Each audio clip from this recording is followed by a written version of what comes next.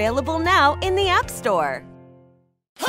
Hey, I got the ways to go. I got moves to make, call me, but I stay in the flow. See, I just do what I say I'm gonna do. No, no, movement ain't faded. You could assume what you're doing was great. I'm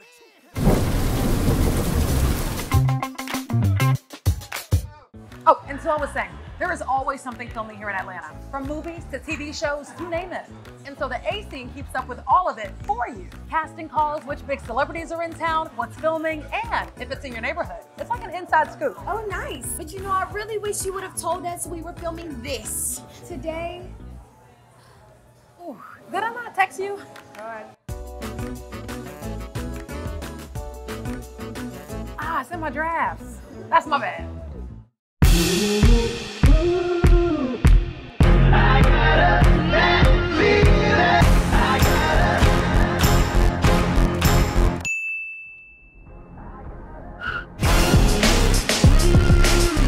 So you slept in and you missed morning rush, huh? Well, here's what you missed. In my experience, good guys do finish last. Mm. Stop. I consider myself a nice guy. I got the most beautiful woman in the world in my eyes. You're a nice guy too, Yeah. Jess. I'm saying in my experience, when growing up, good guys didn't Oh, finish last. Somebody broke his heart somewhere along the line. We're here every weekday morning, so come on, hang out with us.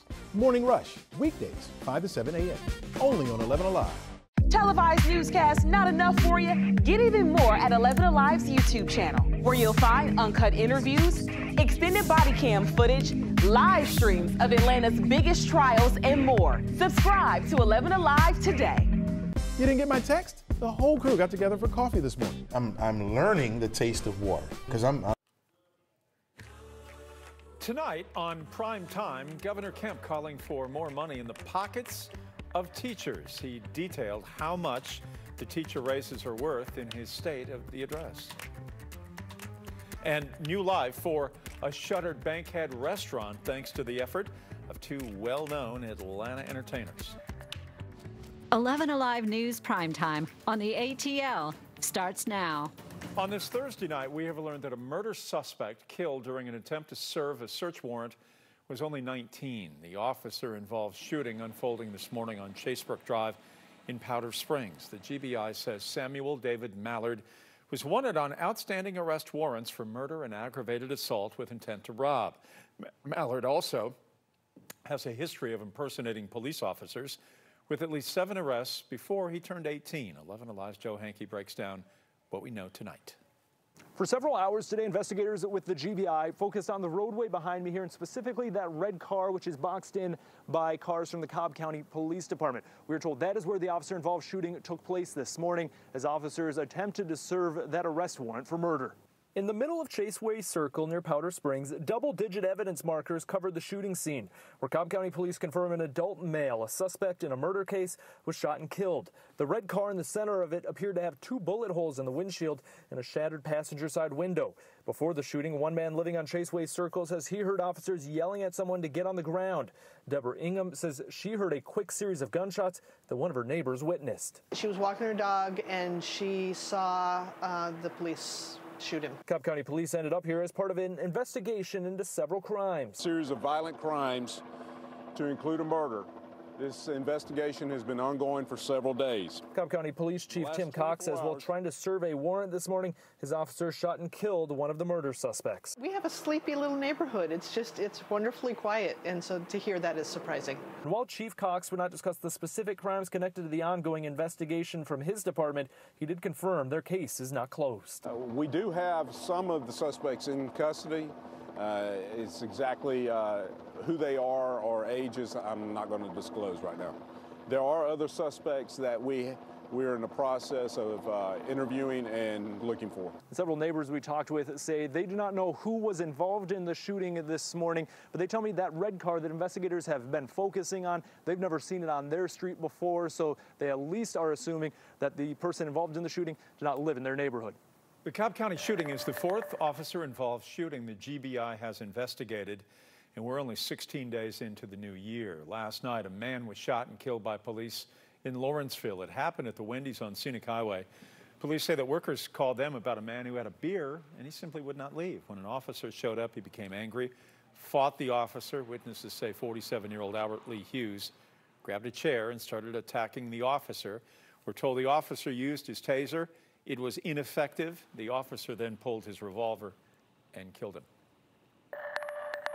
So on Monday night, while a lot of folks were celebrating the national championship win, we were tracking some showers that were moving through the area around midnight that caused some damage on the south side. The National Weather Service went and surveyed that damage, and they revealed that th we had a couple of brief tornadoes there on Monday night. The first one here in Pike County, this was Monday just before midnight around 1151. It was an EF0 tornado with wind speeds around 80 miles an hour, and it had about a one and a half mile path link, link that caused some damage uh, to some trees and also some buildings there. And then after it moved over the line into Spalding County, it touched down again around 220 as an EF0 with wind speeds of around 85 miles an hour. It had a, about a third of a mile length that uh, caused some damage, even uh, took the roof off of an outdoor shed out there as well. No one was injured. There were no fatalities with it. But yeah, a couple of brief, weak tornadoes came through on Monday night. Stay with us. We have another round of rain moving in for the weekend, but no real storm threat with that. We'll give you the timing in just a few minutes. All right, Chris, thank you. Topic our speed feed, a woman possibly forced into a van. And now Atlanta police say they need your help. APD says they received a call from a witness who says she saw two men take a woman from the passenger side of an Infiniti and then force her into their white work van. The incident took place this morning on Moreland near Custer Avenue in southeast Atlanta. Investigators say the men took the Infiniti and now they are looking for that car, and that's where they need your help. There's some distinct markings to look out for. The Infiniti has a temporary tag, and the gas filler door appeared to be either missing or painted black. Anybody with information is asked to call APD. Group of thieves moving fast, breaking into 26 vehicles within just two hours last night at different apartment locations and hotels in Gwinnett County. Take a look at these photos of the three suspects. Police say they got into the cars by smashing the windows and then we're taking wallets. Police are asking people to look out for a black SUV, maybe a Jeep Cherokee with blacked out rims and a long sticker on top of the back window.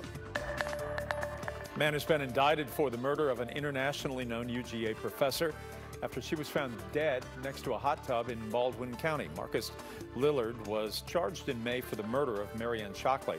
Another man who was there at the time is the one who called 911. Investigators say they spoke to him shortly before he killed himself at the scene. We spoke to some of Shockley's former students who said she was a wonderful woman, strong and talented. To hear more about her life from those who knew her, you can read our story on the 11 Alive app. Supreme Court Chief Justice John Roberts is taking his place as judge in the impeachment trial of President Trump. Senators walked up in groups of four to give their oath to do impartial justice. They will be acting as jurors. This is all they heard uh, was the two articles of impeachment, and they were read aloud yesterday. President Trump solicited the interference of a foreign government, Ukraine, in the 2020 United States presidential election. It was a ceremonial start to the trial, but the work starts Tuesday with the opening arguments. Senators still have to decide whether to allow new documents and witnesses into the trial. And there are signs the investigation work is far from over after a new report from the Government Accountability Office determining that the president broke the law by withholding aid money from Ukraine. We will have more on the findings of that report coming up. At the state capitol, Governor Kemp says he plans to give school teachers another pay raise. He did not mention tax cuts or how the state might fix a revenue shortfall that could make those teacher raises problematic. This came during the governor's annual State of the State speech today. 11 Alive's Doug Richards was there and has more. The governor mostly steered clear of divisive issues. He did briefly mention the state's controversial heartbeat abortion law passed last year, but he used it to launch into a crowd pleasing pitch to change the state's adoption laws. As a pro life governor, I believe we need to protect the unborn and the born.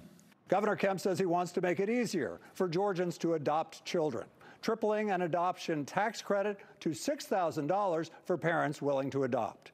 Kemp also called for more money for school teachers, pitching a $2,000 raise for all public school teachers on top of a raise approved last year. Let's give our educators another well deserved pay raise. He's made the promise. It is up to the rest of our politicians across the state to stand behind that and value public education as much as he has shown that he does. Former Governor Nathan Deal was among the luminaries in the audience for Kemp's speech, along with Atlanta Mayor Keisha Lance Bottoms. Senator Johnny Isakson.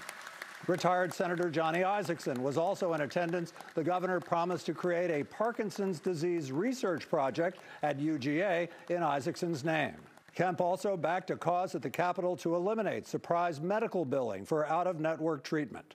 Democrats said they'd back that effort, but also called it insufficient to help Georgians lacking health care insurance. The answer was full Medicaid expansion. And we have not done that and have not shown that we're going to be a willingness to do that. And so the concern is that we're actually just providing a band aid on a very serious health concern that are facing all of our Georgians. The governor did not mention the film industry or the state's generous tax credits, which have come under fire from two state audits released in the last week or so. A heartbroken wife, emotional hours after her husband was killed in a hit and run in metro Atlanta. The ordeal that led to the suspected driver's arrest. Don't forget, we're streaming right now on 11 Alive, the YouTube channel. You can subscribe. You can join the conversation in the community section. We have more 11 Alive news in prime time right after the break.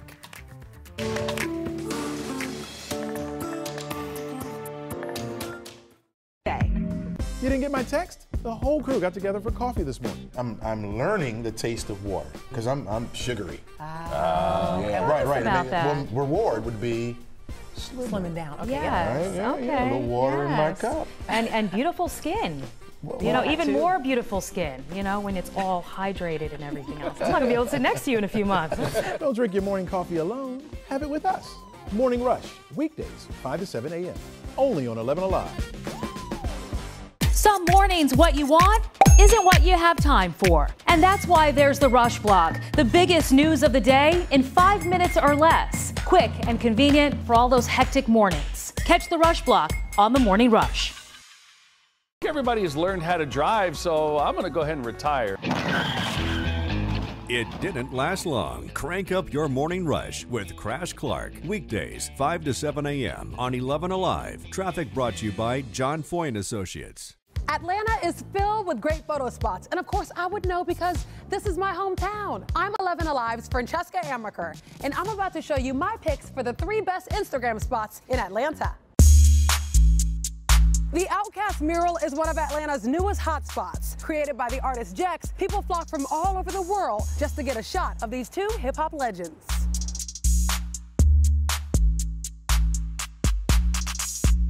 News of the mural went viral when Big Boi himself gave a shout out on Instagram. You can find it tucked away in a back parking lot in Little Five Points. An Atlanta icon, ever changing, always interesting. The Krog Street Tunnel is full of artwork from some pretty. He took my husband away from me, I don't know how I'm to live without him. A family's heart torn from them in a split second. Yesterday morning, a hit and run driver killed Chris Macon in Cobb County's family is in pieces right now. They spoke with our John Shirek in an exclusive interview you will only see here. He was cradling his dying father in his arms as the driver who had just struck his dad was running away moments after asking him one question. It happened so fast. He asked if I was okay. I turn around, I run to my dad, and I look back and he's gone. The horn's blaring, and I mean, how do you have that little of responsibility for your own actions? Isaac and Leanne Macon found out later that Cobb County police quickly surrounded the home of the hit and run suspect, Christian Martinez. And after a standoff of about three hours, they arrested him. Police say Martinez wasn't even supposed to be driving. His driver's license was suspended. Isaac and his father, Chris, had been driving home from work. Chris, a contractor, Isaac, his apprentice. Isaac says on US 41 at Allatoona Lake, Chris was somehow distracted for a split second and struck a guardrail. Chris got out to move his bumper from the highway, and the hit and run driver struck and killed him and struck the very heart of the Macon family. Well, we just celebrated our 29th anniversary not long ago. Um, he, he's just sweet and smart and had the best sense of humor and always trying to make people laugh or cheer you up, and he always knows what to do in any situation. And I wish he was here right now because I don't know what to do. he was the most truthful person ever. He'd always correct me and make me the best I could be. And They somehow want to believe the hit and run suspect and his family are grieving too. Feel sorry for them because I can't imagine going through what they're going through either. But at the same time, he took my husband away from me, and I don't know how I'm going to live without him. Cradling Chris still and always in their embrace.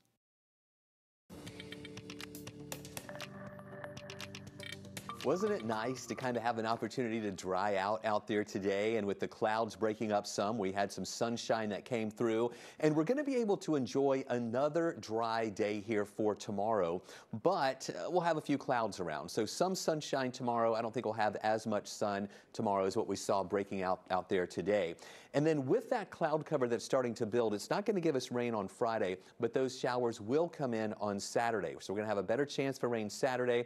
It's going to be a quick mover. It'll be out of here by Sunday. And then behind this system, we're going to have much colder air that'll be moving in as we head into next week. So for your Friday, starting off cooler, Temperatures have been mild the past few mornings with all the cloud cover and moisture and rain around. We're going to be in the right around 40 degrees here in Atlanta to start early tomorrow morning, even some 30s in the outlying area. So it will be a cooler start to the day and we get up to 55. That's closer to where we should be for this time of year.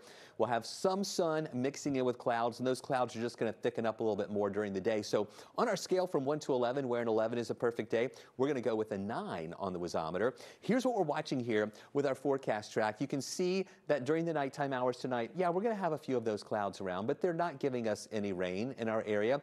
And then during the day tomorrow, we will have a better coverage of clouds around, some breaks in those clouds to give us some sunshine. I think we'll see a little more sun breaking through in North Georgia and areas south of the city. We'll just have the swath of clouds moving through Atlanta, but still not giving us any rain.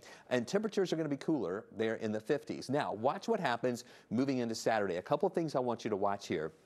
You can see uh, this area here, the blue line indicates where we have colder air moving in. That's the freezing line. And as this moisture moves in on Saturday, it is possible Saturday morning till around noontime. We might have some brief mixing in the North Georgia mountains there in the higher elevations, maybe even in some valley areas as well with the cold air kind of draining down into those valleys. And just some showers here in metro Atlanta. The better chance for rain will be later on in the afternoon into the evening where we'll see more of those showers that will move through. It will be a fast mover. And once that gets out of here, we're going to see the colder air moving in. Rainfall totals not too impressive for Saturday. Generally less than a half inch earlier in the day. And then once it's all said and done, there might be some spots over in North Georgia that might see a little bit more than an inch, but not really calling for a lot of rain in our area for your Saturday. And then after that gets out of here, we not only dry out, but we get cold. So look at that 55 for a high Friday, 54 Saturday with the showers that'll be here. And then into Sunday, uh, uh, some clouds around, but more sunshine will be breaking through with temperatures around 51 degrees for a high.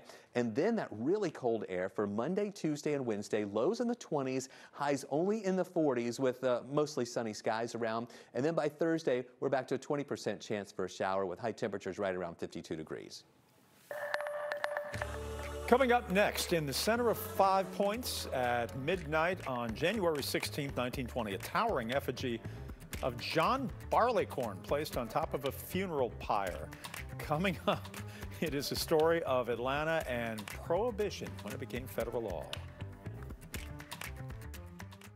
11 Alive app is your go-to source for all things Atlanta. You hear what happened today? I'll tell you all about it. Breaking news the moment it happens. The boil water advisory. Hyper local, accurate weather alert. You may want to grab that sweater, maybe even a coat. More stories to uncover. More videos to discover. He did it his way. Personalized for you. And that's what makes it so special. The 11 Alive app. Available now in the App Store.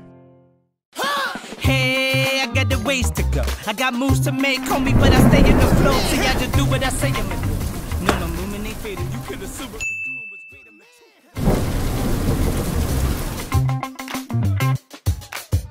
Oh, and so I was saying, there is always something filming here in Atlanta, from movies to TV shows, you name it. And so the A scene keeps up with all of it for you. Casting calls, which big celebrities are in town, what's filming, and if it's in your neighborhood. It's like an inside scoop. Oh, nice. But you know, I really wish you would have told us we were filming this. Today, Did I not text you?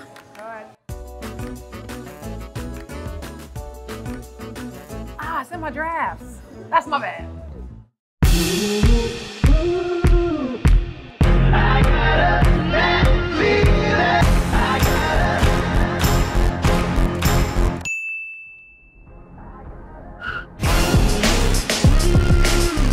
So you slept in and you missed morning rush, huh? Well, here's what you missed. In my experience, good guys do finish last. Oh, I consider myself a nice guy. I got the most beautiful woman in the world in my eyes. You're a nice guy too, Yeah. Jess. I'm saying in my experience, when growing up, good guys didn't Oh, finish last. Somebody broke his heart somewhere along the line. We're here every weekday morning, so come on, hang out with us. Morning Rush, weekdays, 5 to 7 a.m., only on 11 Alive. Televised newscast not enough for you? Get even more at 11 Alive's YouTube channel, where you'll find uncut interviews, extended body cam footage, live streams of Atlanta's biggest trials, and more. Subscribe to 11 Alive today. You didn't get my text? The whole crew got together for coffee this morning. I'm, I'm learning the taste of water because I'm, I'm sugary. Oh, okay. yeah, What right, right. about And that? well, reward would be Slimming down. Okay. Yes. Right, yeah, okay. yeah, a little water in my cup. And and beautiful skin. you know, 100 years ago today and tonight, Atlanta was abuzz with a big party at Five Points in downtown as this was the beginning of the 18th Amendment prohibition in Atlanta. Ron Smith joins me right now, the author of Prohibition in Atlanta, Temperance, Tiger Kings, and White Lightning. But it was somewhat anticlimactic, right? Because prohibition had been a part of our lives here prior to uh, 1920. Right, that, uh, from around 1908, uh, you had Georgia state prohibition that had been in effect.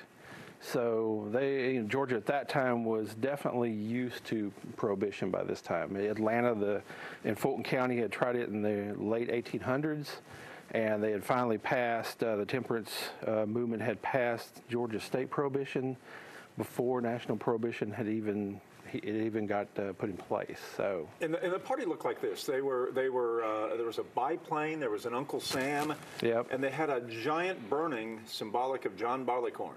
That's it. That was it. Right, right in the middle of five five points. And explain who Barleycorn was Uh, for younger viewers Ah. who try to understand what that symbolism is. Yeah, John Barleycorn. I mean, his symbolism goes way back, but basically, you're talking you know a a personification of alcohol. Uh, you know, you have barley from the beer side, you have corn from the whiskey side, and so and and a folk song to go along with it. And so uh, John Barleycorn is basically, if you if you think of Gambrinus being the beer you know icon, then Barleycorn would be the alcohol icon. So you've got prohibition in Atlanta that has been rolling for a long time, officially on the state in 1920. But a couple of blocks away on Decatur Street, there are saloons, there are saloon girls.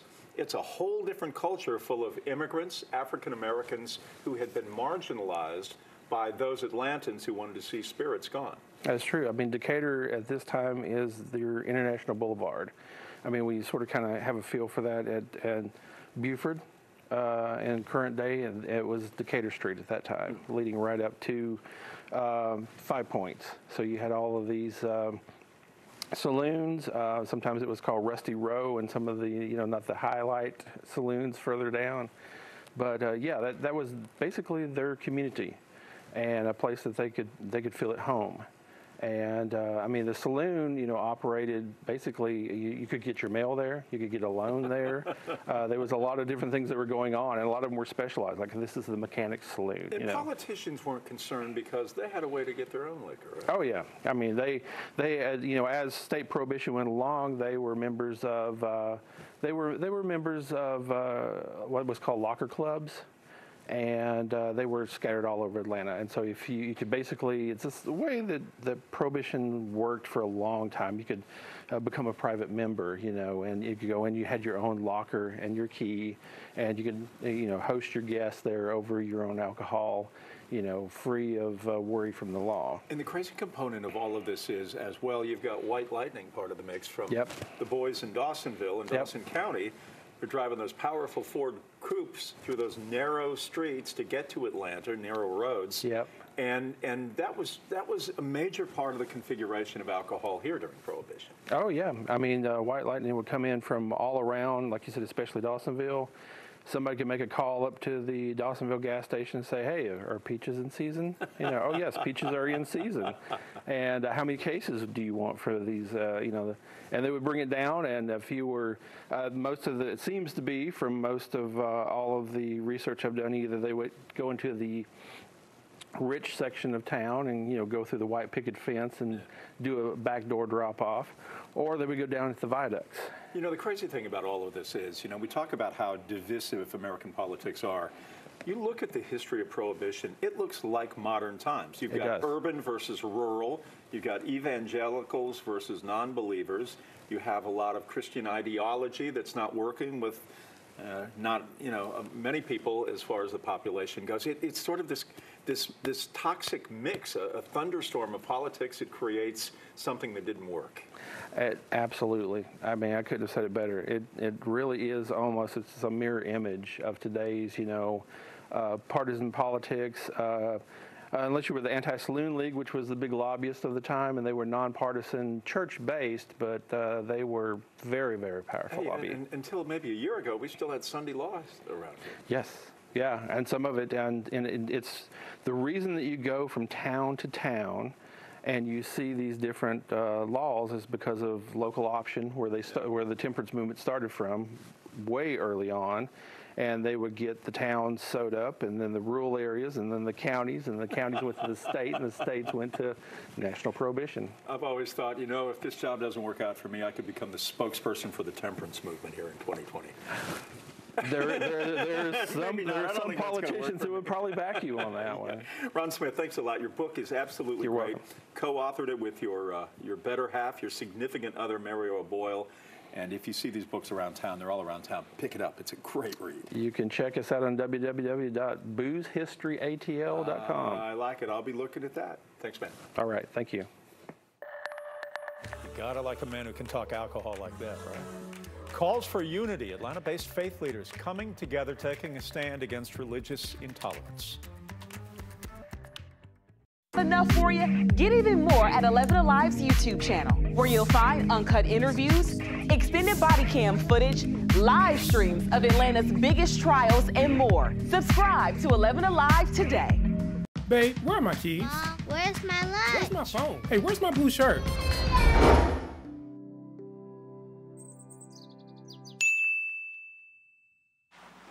Where's my pen? Have you seen it? Everybody has learned how to drive, so I'm going to go ahead and retire. It didn't last long. Crank up your morning rush with Crash Clark. Weekdays, 5 to 7 a.m. on 11 Alive. Traffic brought to you by John Foy and Associates. I woke up at 2 in the morning to be here. Where were you? Once you allow it, right, then it sets you up for the entire week where you just have lost it. Like on a, on a Sunday, it's like, oh, let's just order some Chinese food, and of course you wind up eating tons of that. And then on Monday you're like, well, I got leftovers, I can't let it go to waste. Auntie wants to give you a plate to take home from the barbecue. Auntie.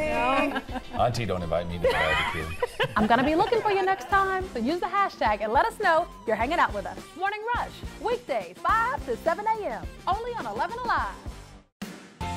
The 11 Alive app is your go to source for all things Atlanta. You hear what happened today? I'll tell you all about it. Breaking news the moment it happens. The Boil Water Advisory. Hyper local, accurate weather alert. You may want to grab that sweater, maybe even a coat. More stories to uncover, more videos to discover. He did it his way. Personalized for you. And that's what makes it so special. The 11 Alive app. Available now in the App Store. Ways to go. I got moves to make, homie, but I stay in the flow. So y'all just do what I say I'ma do. No, no, ain't. You assume.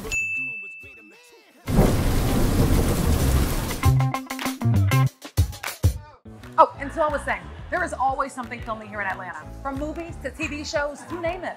And so the A scene keeps up with all of it for you. Casting calls, which big celebrities are in town, what's filming, and if it's in your neighborhood. It's like an inside scoop. Oh, nice. But you know, I really wish you would have told us we were filming this today. Ooh, did I not text you? All right. Ah, it's in my drafts. That's my bad.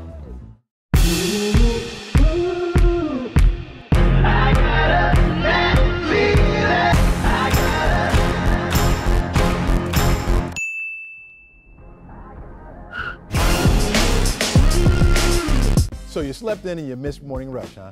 Well, here's what you missed. In my experience, good guys do finish last. Mm. Stop. I, I consider nice myself a nice guy. Yeah, I got the most beautiful woman in the world in my eyes. You're a nice guy too, yeah. Jess. I'm saying in my experience, when growing the sudden spike in anti Semitic terrorist attacks that we've seen from Pittsburgh to New York, we've seen them all over the country over the last couple of years. And the Jewish community everywhere in all 50 states certainly is on edge these days. Here in metro Atlanta, there has been a dramatic call for Jewish unity and solidarity. 11 Alive's Bill Liss and photojournalist Charles Holmes met with two of Atlanta's leading religious leaders for more insight into what lies ahead.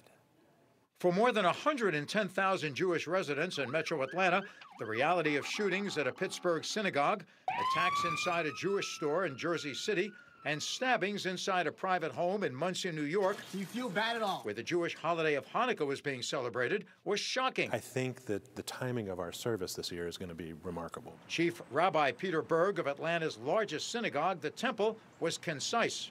We can't let a few people who hate, we can't let uh, terrorists uh, control the day. And it wasn't long before the Atlanta Jewish community organized a major rally in Sandy Springs to show solidarity and a determined resolve to express their faith. For many Jewish people in metro Atlanta, anti Semitic acts are an abstract thought, but in fact, it's an Atlanta reality. Jaron Lino is a senior at Riverwood High School. I've experienced anti-Semitism myself in school, uh, and anywhere I've gone, I've experienced it. Rabbi Berg says many Jewish students have been continually singled out with religious slurs. There's hardly a school in the metro area that our students go to that I have not been to this year to meet with the principals or the teachers to talk about kids from our congregation and community. It's an issue, says Rabbi Berg, that requires everyone in the community taking a positive role. We have many partners in the community. Um, we do so much work, for example, with the African American community, and there's such racism that's prominent as well. So we support each other, and uh, we, we stand up and say hatred, all hatred is terrible. It's an effort strongly supported by the Reverend Raphael Warnock, pastor of Atlanta's historic Ebenezer Baptist Church. Whenever bigotry rears its ugly head, whether it's in a synagogue or a church, whether it is a religious bigotry uh, or racism or any form of xenophobia, I think we have to recognize the ways in which none of us are safe, and we have to stand up uh, and speak on behalf of whoever, whomever uh, is on the receiving end uh, of that bigotry. And on Friday night, a significant number of Atlantas will speak out. Two of Atlanta's largest religious congregations, Jewish and Baptist, joining together here at the Temple over the MLK weekend to show solidarity against racial and religious intolerance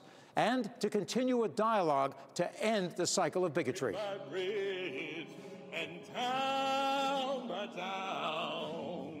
Like a rolling train that won't slow down. It's a yearly event that brings together the temple community with the Ebenezer Baptist Church community in joint prayer, solidarity, and commitment. Uh, you're going to see a rabbi and a minister stand up together to say that all forms of hatred, racism, homophobia, xenophobia, bigotry, anti Semitism, all are unacceptable, and we will not stand idly by. Every time we get together, the Temple and Ebenezer Baptist Church, it is its own act of living resistance against racism and anti Semitism. And I think that service empowers, inspires, and encourages a lot of people uh, to keep on keeping on. It certainly inspires me.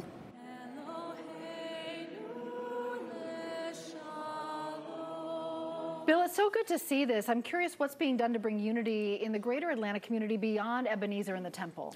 Well, the rabbi, for one thing, has been speaking at the mosques. It happened earlier this year when there was an incident with a Muslim shooting somewhere else in the country. And Reverend Warnock has told me the same thing. He often gets together with the church and with the Muslim community and talks to them. So there's a great unity going on between the Jewish community, the African American community, and the Muslim hmm. community to promote, as you just said, that feeling of great unity within Atlanta. And this joint service tomorrow night, everyone has a chance to be a part of it. Absolutely. The wonderful part about that, folks, we are going to be streaming that service on our 11 Alive website tomorrow night. It will be live, starts at 8 o'clock at the temple. It will also be available if you have a, an app on your phone, you'll be able to watch the whole thing. So all kinds of people can be able to watch it, and we think it will be community-wide. Perfect. Phyllis, thank you so much. Okay. Well, are you ready for a pattern change? You know, so far this month, our temperatures are 11 degrees above average. We've been dealing with a lot of really mild air over us, and today, Temperatures were in the mid 60s, and that's above average. It was pretty mild. Tomorrow, we're going to go back to the mid 50s, which is closer to average, but still, it's going to be kind of on the mild side there. But look what happens as we get into Saturday. Temperatures in the upper 50s to near 60 degrees. It's going to be mild then as well. But we have this really cold air that's up to the north that's going to finally start moving into our direction. And once we get into Sunday, uh, the showers from Saturday will move out, and that's going to open the door to this cold front that's going to sweep through, and that will start to cool us down on Sunday, and then it's going to be really cold here on Monday and into Tuesday. We're talking about temperatures next week getting back down to lows in the 20s and highs only in the 40s. Stay with us. It looks like as that cold air is, is in place, it's going to remain dry. We'll break it all down for you in the seven-day outlook in just a few minutes. Okay, Chris, thank you. We're starting off your speed feed on this Thursday night. A tragic update. The Hall County Sheriff's Office says the death of a married couple was a, a murder-suicide. An autopsy from the Georgia Bureau of Investigation shows that Tai Yang shot his wife, Minka, on January 4th before taking his own life. Two of the sons were inside the home on Little Doe Walk uh, at the time. They are 16 and 20. What a tragedy, my goodness. Their grandmother also was inside. The sheriff's office is still working to finish its investigation. Pilot's decision to dump that fuel over schools and neighborhoods in Los Angeles still has a lot of people going, what was going on? Even though it was a flight emergency, it's getting more scrutiny. Parents and the FAA now demanding even more answers. It was revealed the crew never warned air traffic controllers. The FAA says they would have directed the plane to appropriate fuel dumping areas, probably over the ocean. Nobody was seriously hurt, but those kids complained of skin irritation when they were hit by the jet fuel. A teen accused in the shooting at Cumberland Mall is staying in jail and picking up a new charge. Zaire Danula is already facing two felony charges for the shooting in the food mall court in December that sent shoppers scurrying for safety. One person was shot in the neck and shoulder area, but he is okay, believe it or not. In court yesterday, the judge denied him bond and then tacked on a misdemeanor charge. The other teen accused in the case is Jawir Ponce. He is out on bond. Lawmakers took an oath this afternoon swearing to be impartial ahead of next week's highly anticipated impeachment trial in the Senate. But tonight, there are new revelations and allegations against President Trump and his involvement in the situation in Ukraine. NBC's Jay Gray has the very latest. A powerful new report from the Government Accountability Office indicates the White House broke the law by freezing military aid to Ukraine. The president's order to withhold nearly $400 million in aid as he asked Ukrainian officials to investigate his political rivals is at the heart of the ongoing impeachment. President Trump knew exactly what was going on. In an interview with MSNBC's Rachel Maddow, Lev Parnas, an associate of the president's personal lawyer Rudy Giuliani, says he was at the center of an effort to dig up dirt on Joe Biden and his son in Ukraine. This is an example of all of the president's henchmen arrested on campaign finance charges late last year. He's trying to probably make a deal for himself. I don't even know who this man is. Parnas is now cooperating with House impeachment investigators, handing over phone records and messages, including this handwritten note to get Ukrainian President Vladimir Zelensky to announce that the Biden case will be investigated and a text message exchange with an associate highlighting the push to oust the Ukrainian ambassador at the time, Marie Yovanovitch, suggesting she was under surveillance by private security, allegations now being investigated by police in Ukraine. It's a lot more than just a leash, a nonprofit stepping up to make sure first responders are equipped to help animals in need.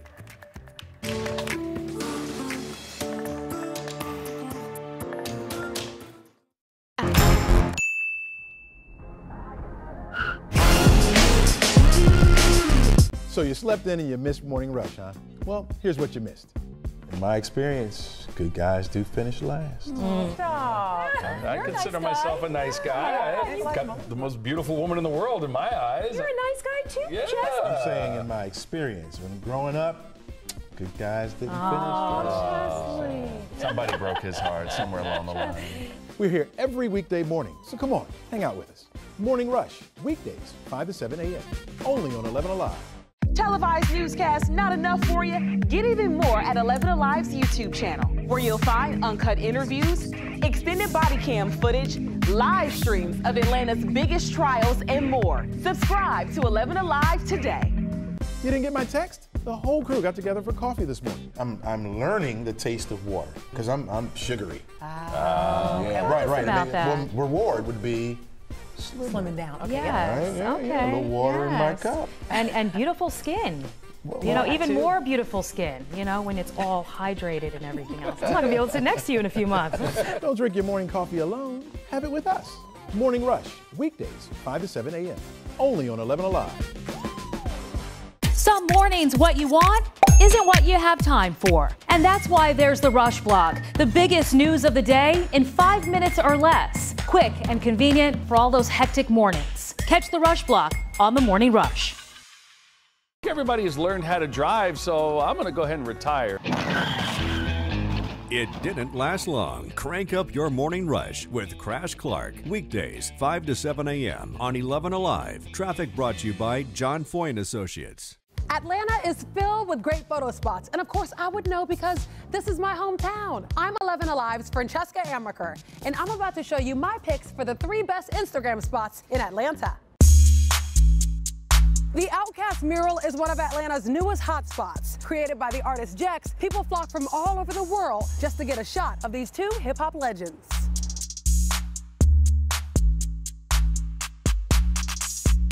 News of the mural went viral when Big Boi himself gave a shout out on Instagram. You can find it tucked away in a back parking lot in Little Five Points.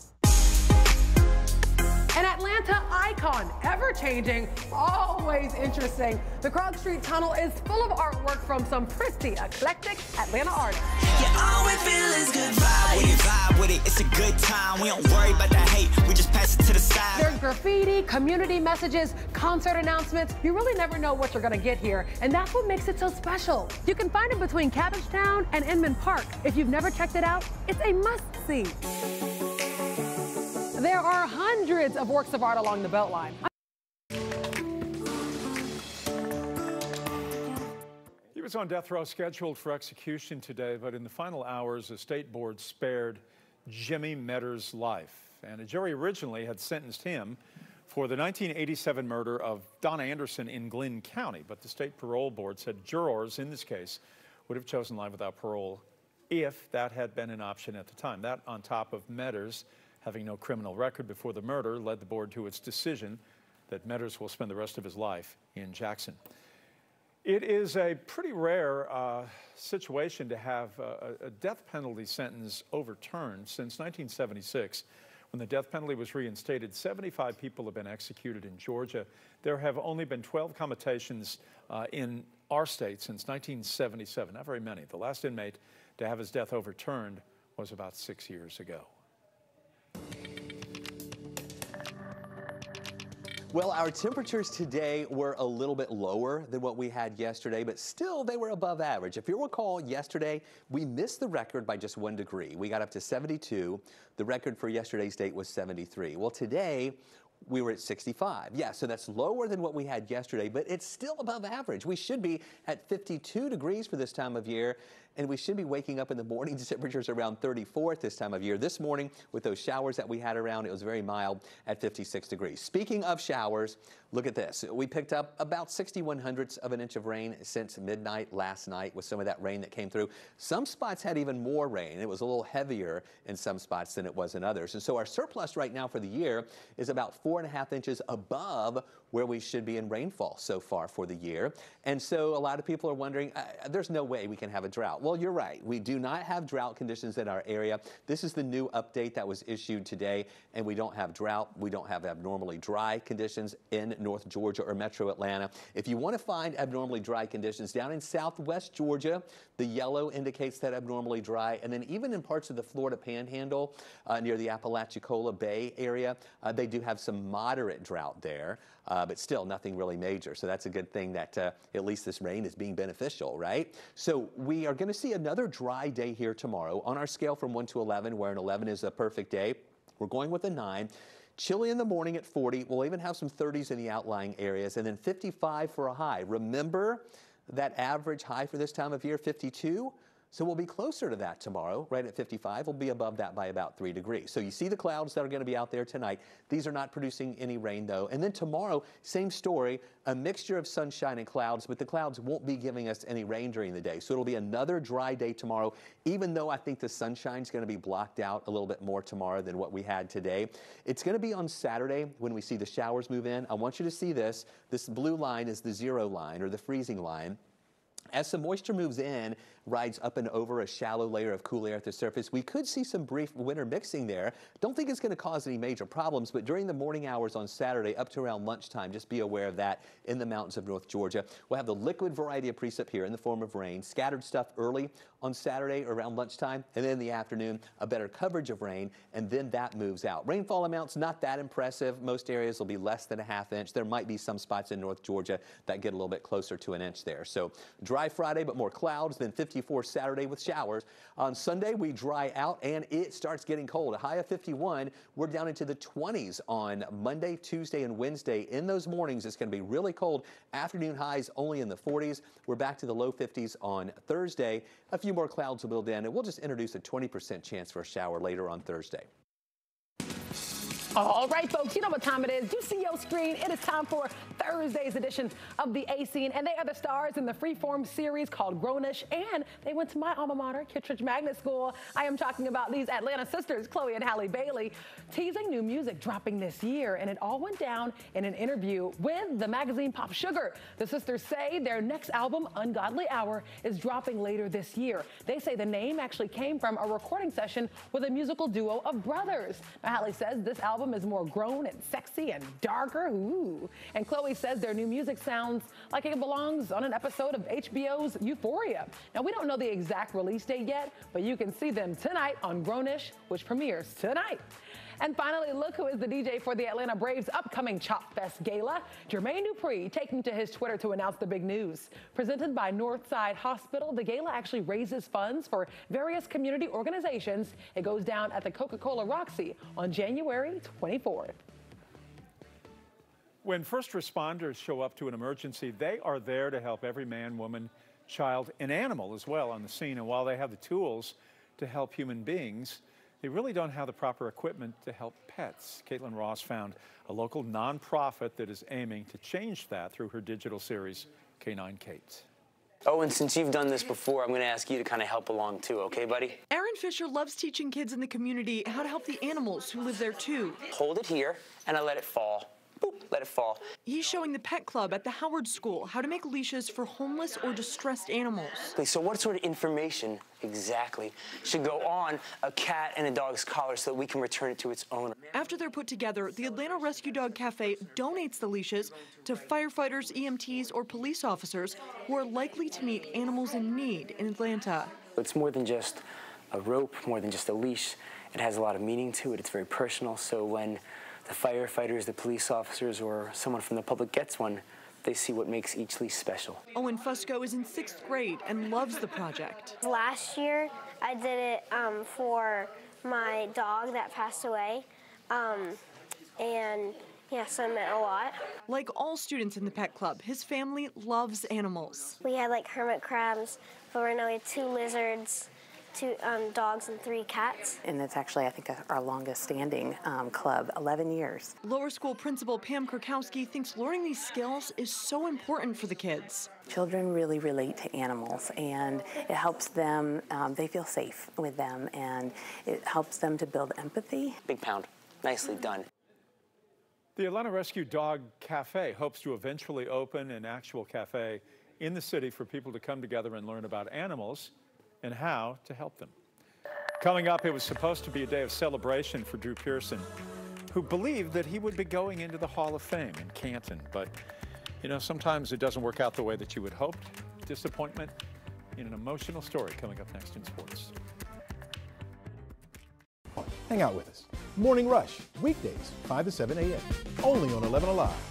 Televised newscast not enough for you? Get even more at 11 Alive's YouTube channel, where you'll find uncut interviews, extended body cam footage, live streams of Atlanta's biggest trials, and more. Subscribe to 11 Alive today.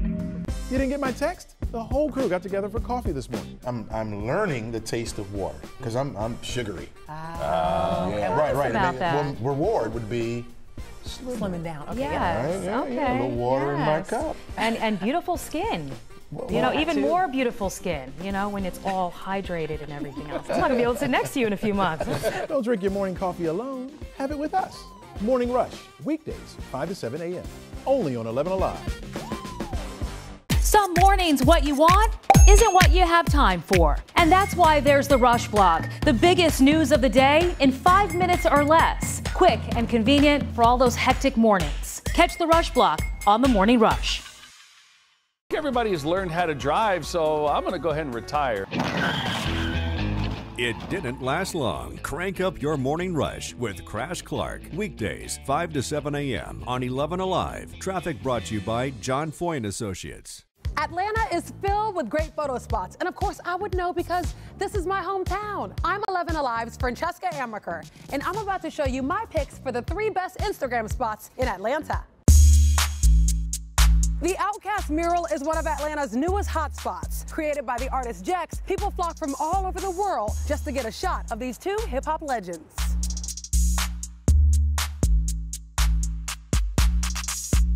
News of the mural went viral when Big Boi himself gave a shout out on Instagram. You can find it tucked away in a back parking lot in Low Five Points. An Atlanta icon, ever changing, always interesting. The Krog Street Tunnel is full of artwork from some pretty eclectic Atlanta artists. All we feel is good vibes. When you vibe with it, it's a good time. We don't worry about the hate, we just pass it to the side. There's graffiti, community messages, concert announcements. You really never know what you're gonna get here, and that's what makes it so special. You can find it between Cabbagetown and Inman Park. If you've never checked it out, it's a must-see. There are hundreds of works of art along the Beltline. I'm talking murals, sculptures, photography. This beautiful mural was created by the artist HENSE. It's 100 feet long, and even though it was created in 2014, it still remains very popular to musicians and photographers alike.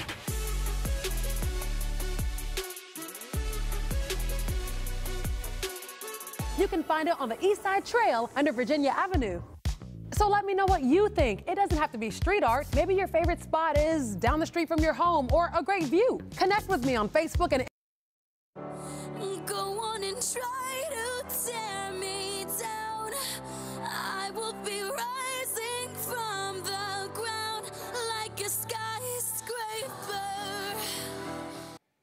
Demi Lovato will be singing the national anthem in next month's Super Bowl game in Miami. She made the announcement on an Instagram post. This is a girl power lineup for Super Bowl 54. Shakira, Jennifer Lopez taking on the halftime show. And for Lovato, it marks a big step forward. She will perform live for the first time since she was hospitalized a year ago for an overdose. She will sing at the 2020 Grammy Awards on January 26th. So it is a comeback year for the singer and songwriter. She's joined the, the ranks of Gladys Knight, who sang the anthem at the Super Bowl here in Atlanta last year. She was awesome. Wasn't she great? She's always great. The Hall of Fame announced its centennial class yesterday, and there were many finalists, including Dallas Cowboys star from the 1970s, Drew Pearson. He invited our friends at WFAA in Dallas to his home for yesterday's announcement. In fact, he invited a lot of people over for the announcement, but it did not turn out at all like he wanted. By the way, I'm distracted for a moment, if you'll excuse me. That's Rolland Lawrence, number 22. He's a 5'10 defensive back for the Falcons. And that was the 4th of January, 1981, when Pearson caught two touchdowns against the Falcons in that postseason game. They scored 20 points in the fourth quarter, the biggest rally anybody had ever seen, sort of like an early 28 to 3. All right, here we go. Here's Drew Pearson. We're gonna pop some champagne. It was a day that began with such promise. Whoa! You get that? I feel like uh, a little better about it might happen.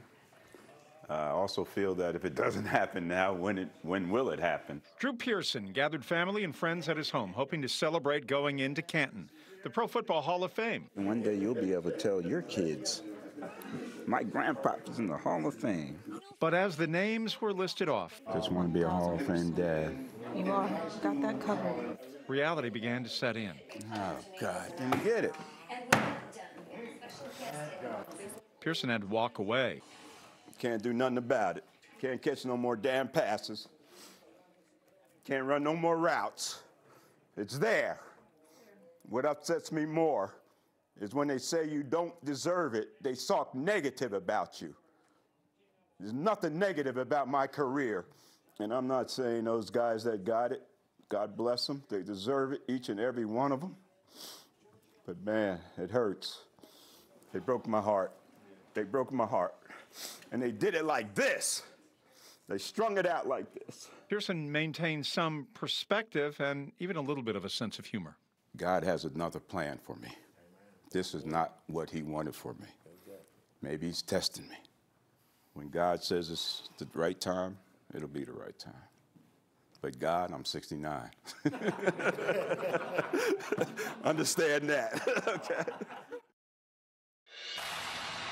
I remember in fifth grade, I remember I was watching the Lakers Celtics on one of the national networks, and I remember turning to my dad and saying, if I want to stay involved in the game of basketball, and if I can't play in the NBA, I said the next best thing to playing is coaching. It keeps you in the game, You're the around the game, adrenaline rush, everything with you know involved. And really, since that time in fifth grade, I put all my energies towards coaching. Josh Pastner of Georgia Tech talking about when he knew he wanted to be a, a basketball coach. He is our most recent guest on the Look Alive podcast. This is good. It's good stuff. You can download, subscribe, and check it out wherever you get your podcasts, or you can search for it on our YouTube page, and you can watch it there. Calls for Change, an online petition, is calling on lawmakers to rename the Edmund Pettus Bridge in Selma in honor of Congressman Lewis. Once you allow it, right, then it sets you up for the entire week where you just have lost it. Like on a, on a Sunday, it's like, oh, let's just order some Chinese food, and of course you wind up eating tons of that. And then on Monday, you're like, well, I got leftovers, I can't let it go to oh, waste. Auntie wants to give you a plate to take home from the barbecue. Auntie.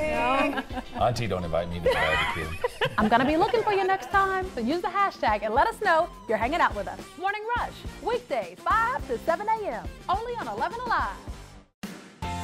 The 11 Alive app is your go to source for all things Atlanta.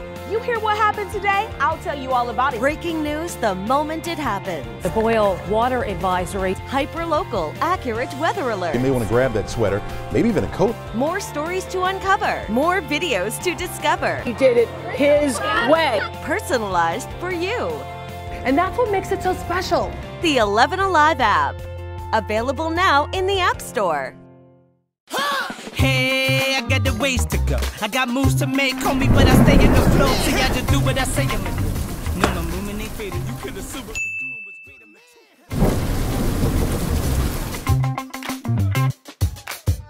Oh, and so I was saying, there is always something filming here in Atlanta. From movies to TV shows, you name it.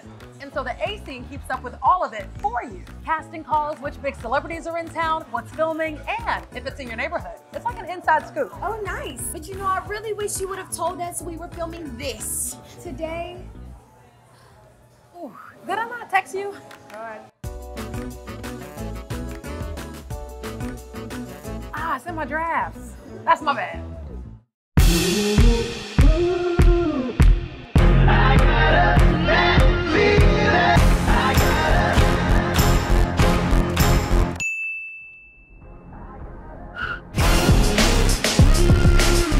So you slept in and you missed morning rush, huh? Well, here's what you missed. In my experience, good guys do finish last. Mm. Stop. I You're consider nice myself guy. a nice guy.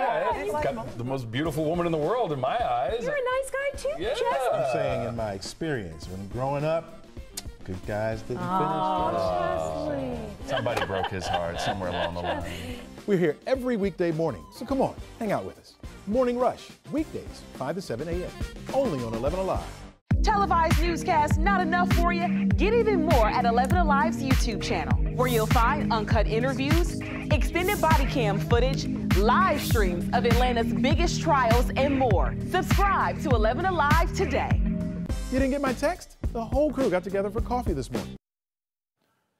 There is a push to honor Georgia Congressman John Lewis by renaming the Edmund Pettus Bridge. An online petition is urging Alabama lawmakers to rename the Pettus Bridge, where hundreds marched in Selma on Bloody Sunday in 1965. Many demonstrators, including the congressman and the Reverend Hosea Williams, violently beaten by state troopers. During the Stop the Voting Rights March, then, nearly uh, 5,000 signatures are calling for the change online. Bankhead Seafood was a community staple. We all knew of it and was reportedly the longest running business in Bankhead, but it closed suddenly in 2018. But now, two famous Atlantans are doing what they can to try to bring it back to life. Killer Mike announced the news via Instagram. He says he is proud to bring the restaurant back, along with T.I. Bankhead Seafood unexpectedly shut down in 2018. They had been in business 50 years. The owner said, you know, they grew older. They didn't have the strength to keep it going. So it's not clear when this restaurant's going to reopen, but now there are reports saying it's going to be significantly larger than the way it had been for about 50 years.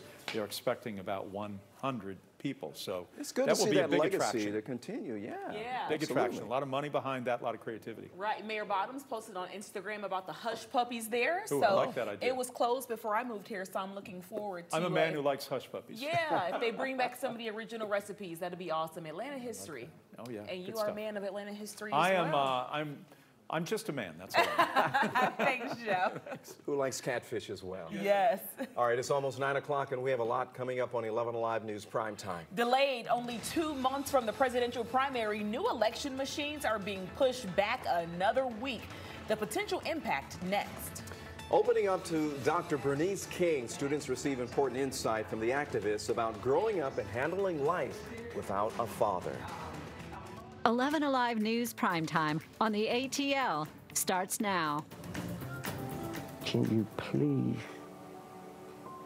help us get a monument or plaque?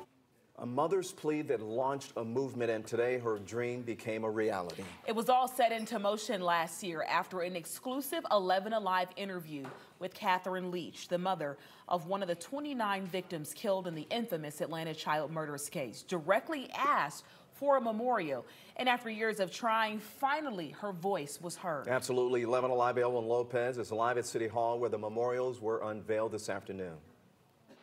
We're in the Mayor's Gallery here at City Hall, and this is the first time that we're seeing the portraits of the victims in the Atlanta child murders case.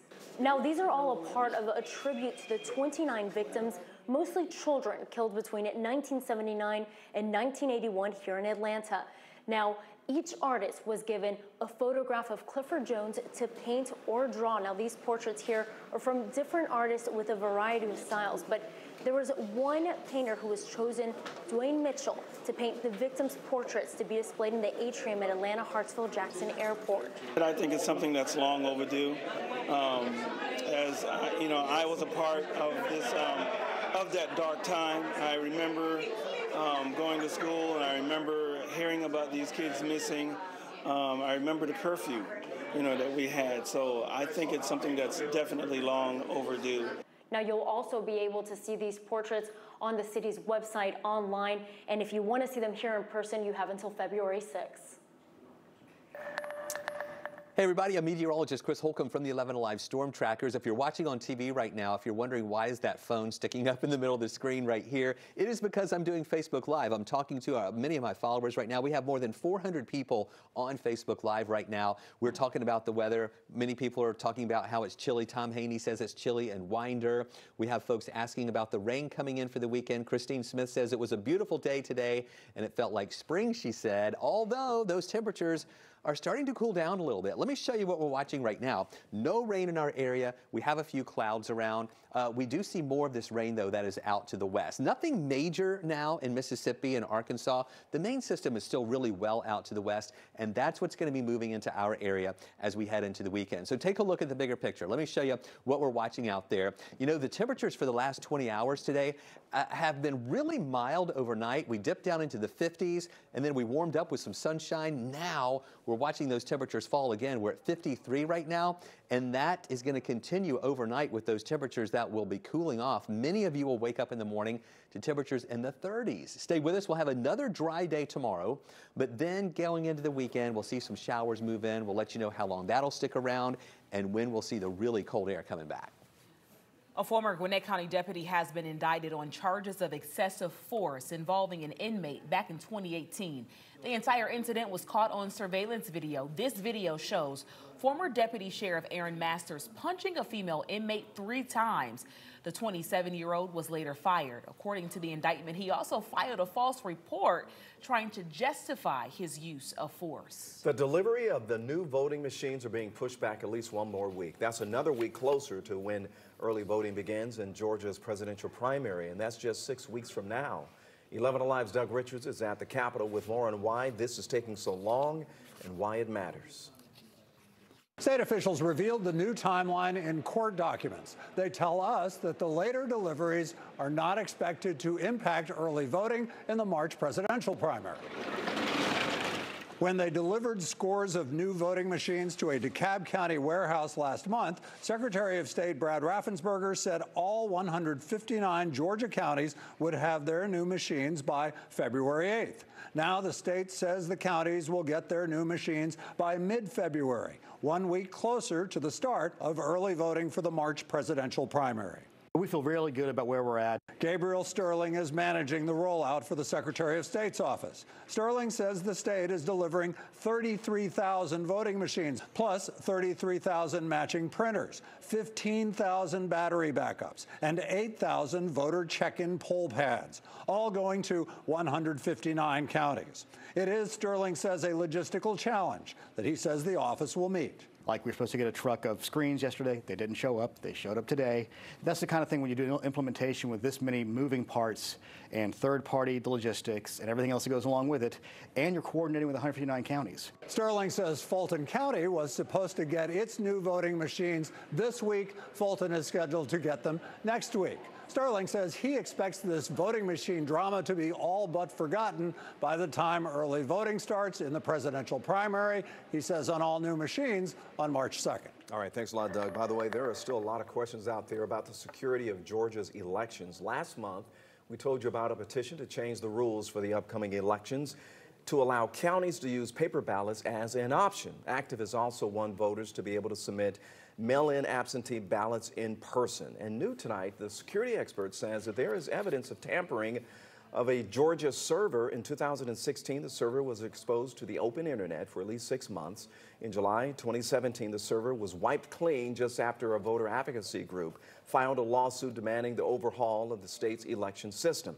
This all involved the fight over Georgia's 6th congressional district runoff.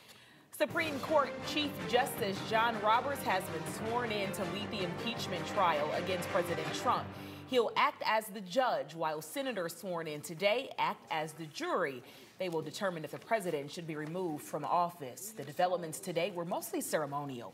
On Tuesday, the real work begins. And there is still a lot to consider here, like the report just released by the Government Accountability Office saying President Trump violated the law when he withheld military aid from Ukraine.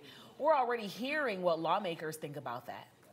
President Trump, simply put, broke the law. Hasn't changed my view of whether or not this is an impeachable offense.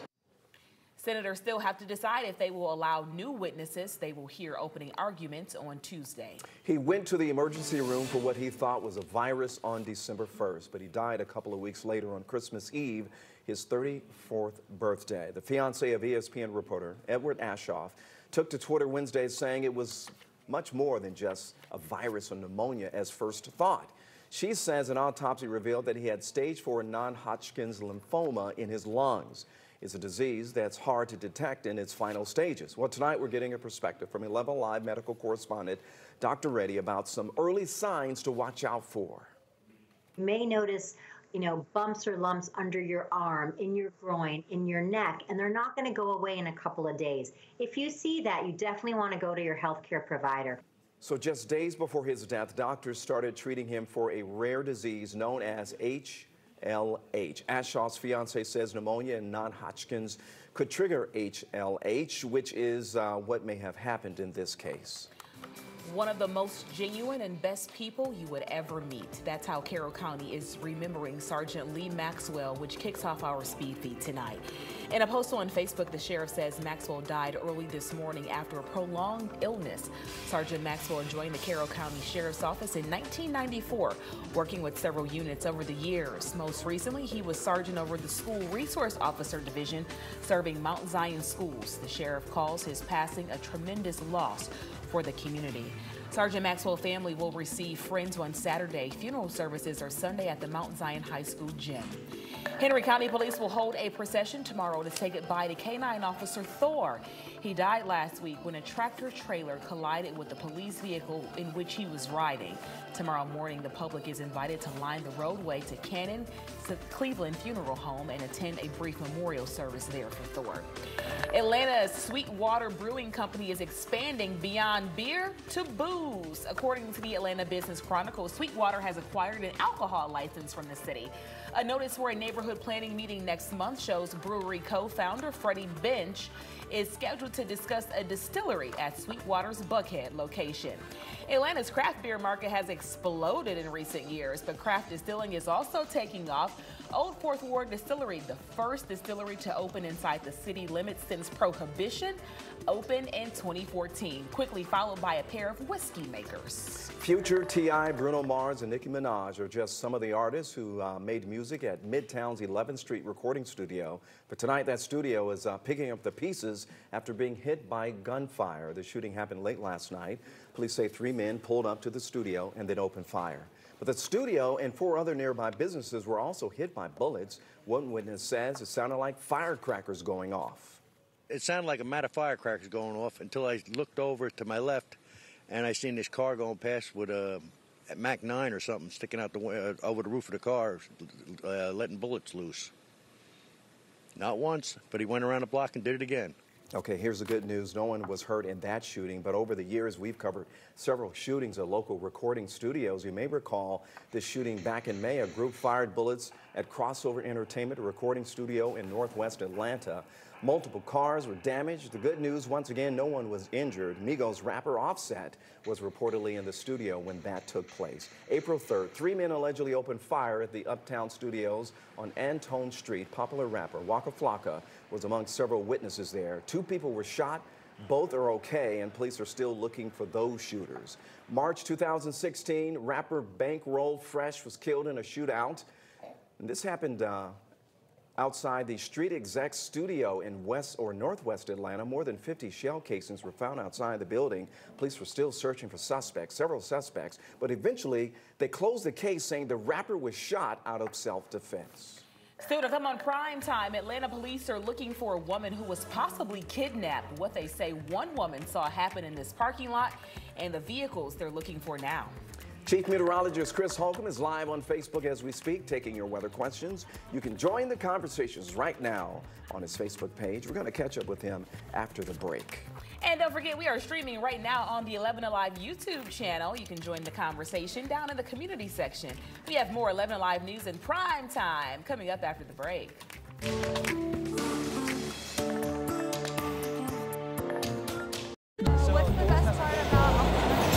Your voice, it is never too loud or too much. Your voice has the power to tell it like it is. Bringing us together to act. Together, our voices grow. Together, we come alive, amplifying voices and breaking down barriers to change the story and shape the future. Together, we are unstoppable. Together, we are where Atlanta speaks. Remember the old days, the old cliffhangers when we used to watch shows Hate and they cliffhangers. would, you know, they Ah. would wait the next week. You're oh, what's going to happen to the six million dollar man? He was hanging with his one bionic arm. Morning Rush, weekdays 5 to 7 a.m. Only on 11 Alive. Atlanta. Almost 6 million people call the Metro home. But what makes this place so great? I'm 11 Live's Chesley McNeil. I'm going to give you three reasons why Atlanta is the best city in America. Come on, man. It's the heart of the South. And it's one of the most diverse cities around. People from all walks of life have come here and made it home. From different backgrounds, languages, and religions. And who can forget about the food? They all make this a cultural melting pot, full of great people and Southern hospitality. Atlanta's rich history is unmatched, known as the cradle of the civil rights movement for good reason. Dr. Martin Luther King Jr., Andrew Young, John Lewis, they all fought in the struggle for equal rights right here. Businesses on Sweet Auburn Avenue, local black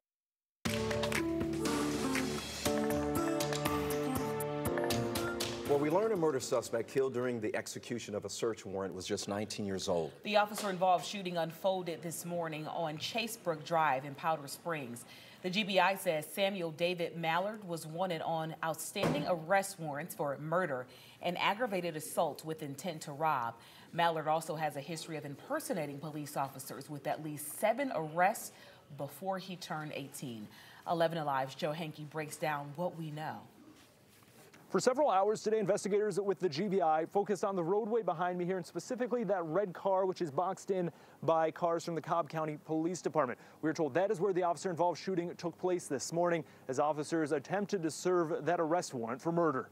In the middle of Chaseway Circle near Powder Springs, double digit evidence markers covered the shooting scene, where Cobb County police confirm an adult male, a suspect in a murder case, was shot and killed. The red car in the center of it appeared to have two bullet holes in the windshield and a shattered passenger side window. Before the shooting, one man living on Chaseway Circle says he heard officers yelling at someone to get on the ground. Deborah Ingham says she heard a quick series of gunshots that one of her neighbors witnessed. She was walking her dog and she saw uh, the police shoot him. Cobb County Police ended up here as part of an investigation into several crimes. series of violent crimes to include a murder. This investigation has been ongoing for several days. Cobb County Police Chief Tim Cox says 24 while trying to serve a warrant this morning, his officers shot and killed one of the murder suspects. We have a sleepy little neighborhood. It's just, it's wonderfully quiet. And so to hear that is surprising. And while Chief Cox would not discuss the specific crimes connected to the ongoing investigation from his department, he did confirm their case is not closed. Uh, we do have some of the suspects in custody. Uh, it's exactly uh, who they are or ages I'm not going to disclose right now.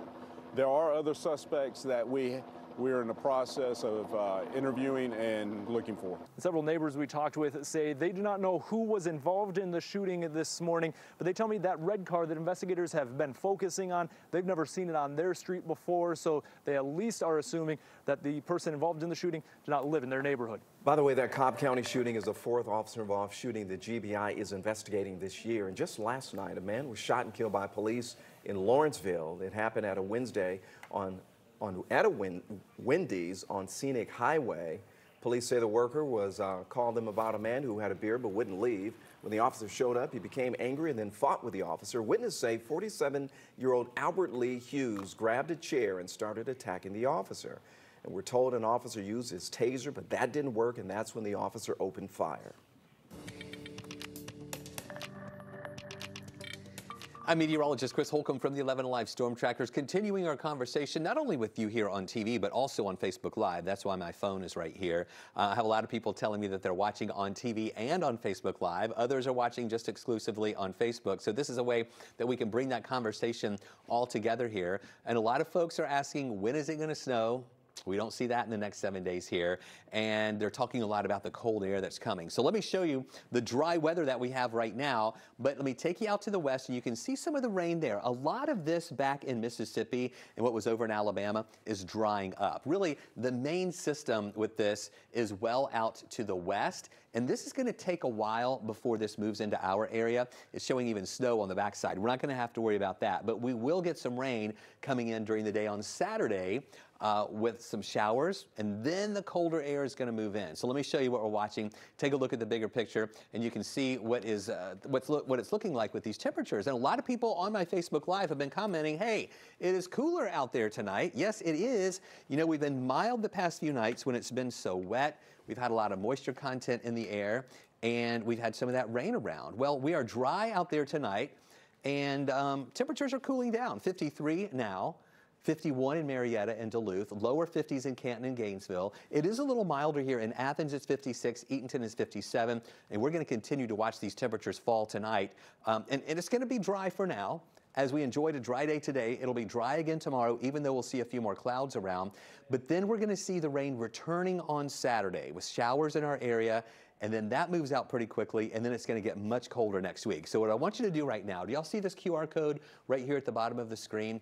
Hold your camera of your phone up to that QR code and point it at that QR code, and it'll help you download our 11 Alive app. So as we're tracking these showers, That'll be coming in on Saturday. You will be able to track those as well on radar there. You can also enable alerts so that the app will let you know if any warnings are issued in your area. We don't expect to see any warnings though this weekend, but it's a great thing to have on your phone and ready to help you track the weather. Tomorrow morning, starting off at 40 in town, 55 in the afternoon. Average high for this time of year is 52.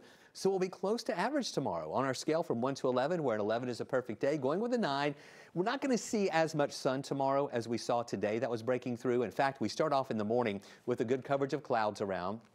At lunchtime, still some clouds, more sun northeast and some breaks down to the south of us. And we will see in the afternoon some of that sunshine that'll break through at times, but no rain from those clouds tomorrow. Once we get into Saturday, though, that's when we'll see some more moisture moving in. And we're watching this freezing line up in northeast Georgia early on Saturday morning. As this moisture moves into that colder air, we might see some mixing with some rain or freezing rain or maybe some sleet there. We don't expect any major issues. It won't last long all just the potential for rain in Atlanta, nothing frozen. And then our better chance for rain will be later in the day here on Saturday with showers. It's going to move out quickly, and then we'll see drier air coming in for Sunday with the really chilly air, back to only 51 degrees for a high temperature here on your Sunday. And then look at the lows Monday, Tuesday, and Wednesday in the 20s, afternoon highs only in the 40s. And then by Thursday, a few more clouds around, 20% chance for a shower late, and high temperatures back up into those lower 50s. I'm Eric Chemi, and this is your CNBC News Now. Stocks closing at a record high, fueled by upbeat economic data. The Dow gaining 267 points, the S&P up 27, and Nasdaq up 98. U.S. retail sales rising for a third straight month in December. That's according to data from the Commerce Department. Those numbers indicating the U.S. consumer remains strong despite department stores like Target, Kohl's, J.C. and Macy's all reporting weak holiday sales.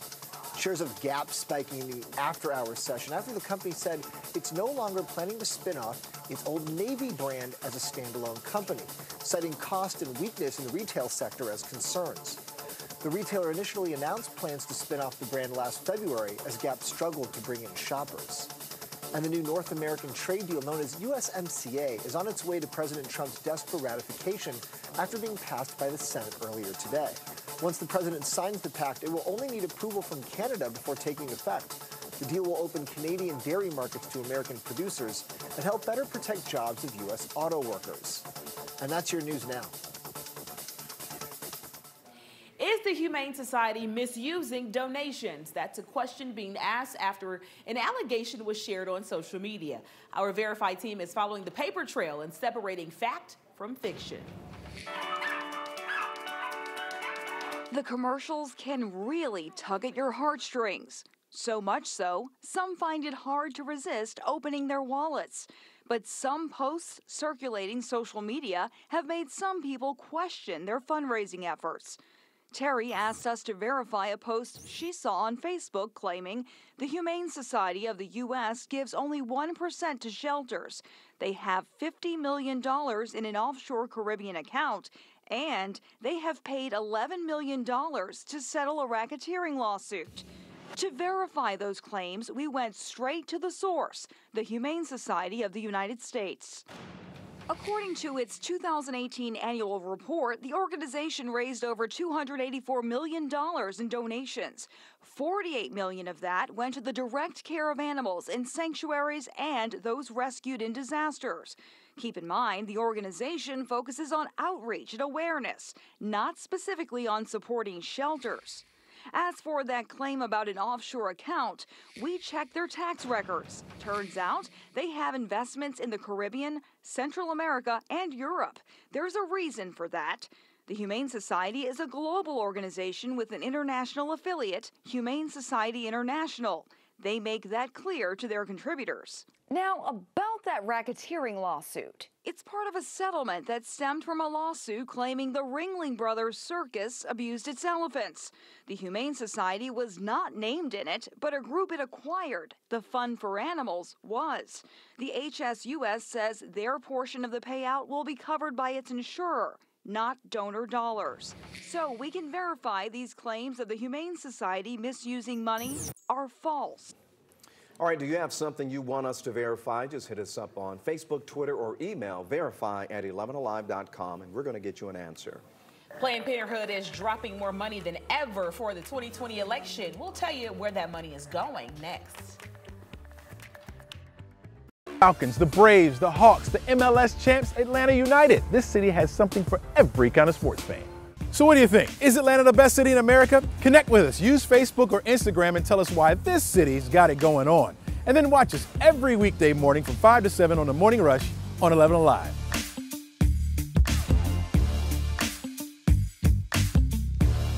Televised newscast not enough for you? Get even more at 11 Alive's YouTube channel, where you'll find uncut interviews, extended body cam footage, live streams of Atlanta's biggest trials, and more. Subscribe to 11 Alive today. Babe, where are my keys? Uh, Mom, where's my lunch? Where's my phone? Hey, where's my blue shirt?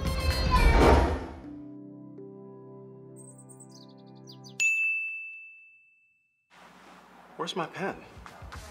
Have you seen it? Everybody has learned how to drive, so I'm going to go ahead and retire. It didn't last long. Crank up your morning rush with Crash Clark. Weekdays, 5 to 7 a.m. on 11 Alive. Traffic brought to you by John Foy and Associates. I woke up at 2 in the morning to be here.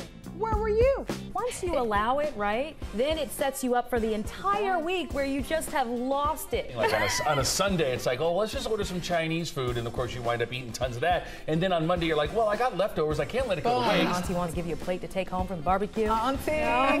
Auntie, don't invite me to the barbecue. I'm going to be looking for you next time. So use the hashtag and let us know you're hanging out with us. Morning Rush, weekdays, 5 to 7 a.m. Only on 11 Alive. The 11 Alive app is your go to source for all things Atlanta.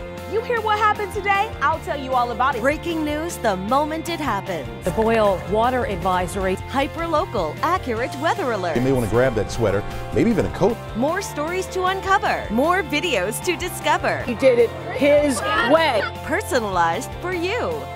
And that's what makes it so special. The 11 Alive app. Available now in the App Store. Hey, I got the ways to go. I got moves to make, but I stay in the flow. Just do what I say I'm. No, no movement ain't. You could assume.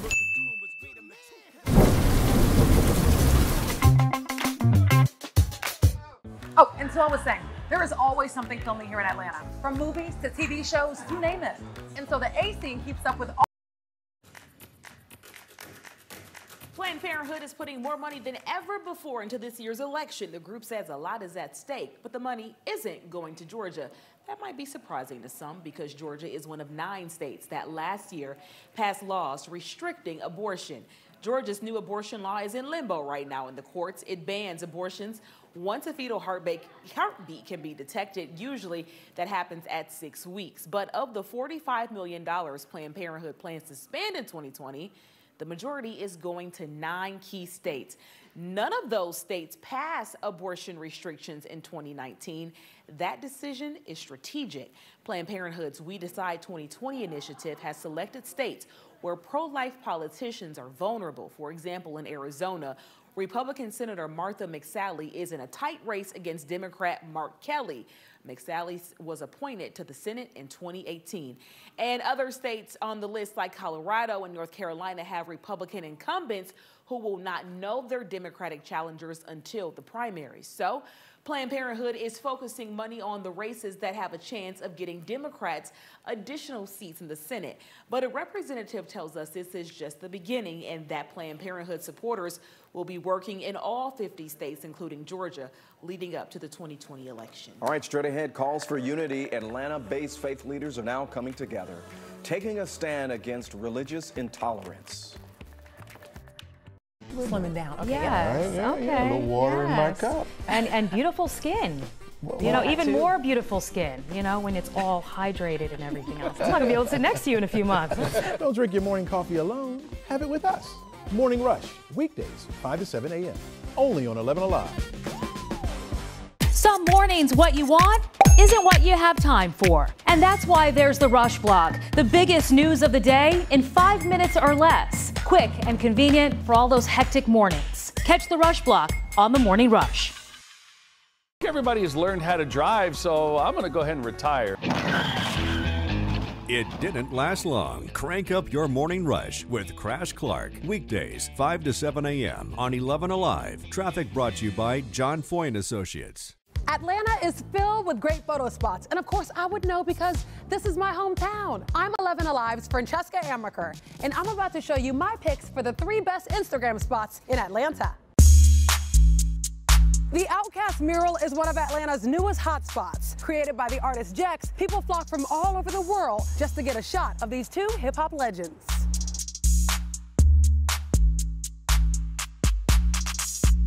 News of the mural went viral when Big Boi himself gave a shout out on Instagram. You can find it tucked away in a back parking lot in Little Five Points. An Atlanta icon, ever changing, always interesting. The Krog Street Tunnel is full of artwork from some pretty eclectic Atlanta artists. Yeah, all we feel is good vibe vibe with it. It's a good time. We don't worry about the hate. We just pass it to the side. There's graffiti, community messages, concert announcements. You really never know what you're gonna get here, and that's what makes it so special. You can find it between Cabbagetown and Inman Park. If you've never checked it out, it's a must-see. There are hundreds of works of art along the Beltline. I'm talking murals, sculptures, photography. This beautiful mural was created by the artist HENSE. It's 100 feet long, and even though it was created in 2014, it still remains very popular to musicians and photographers alike.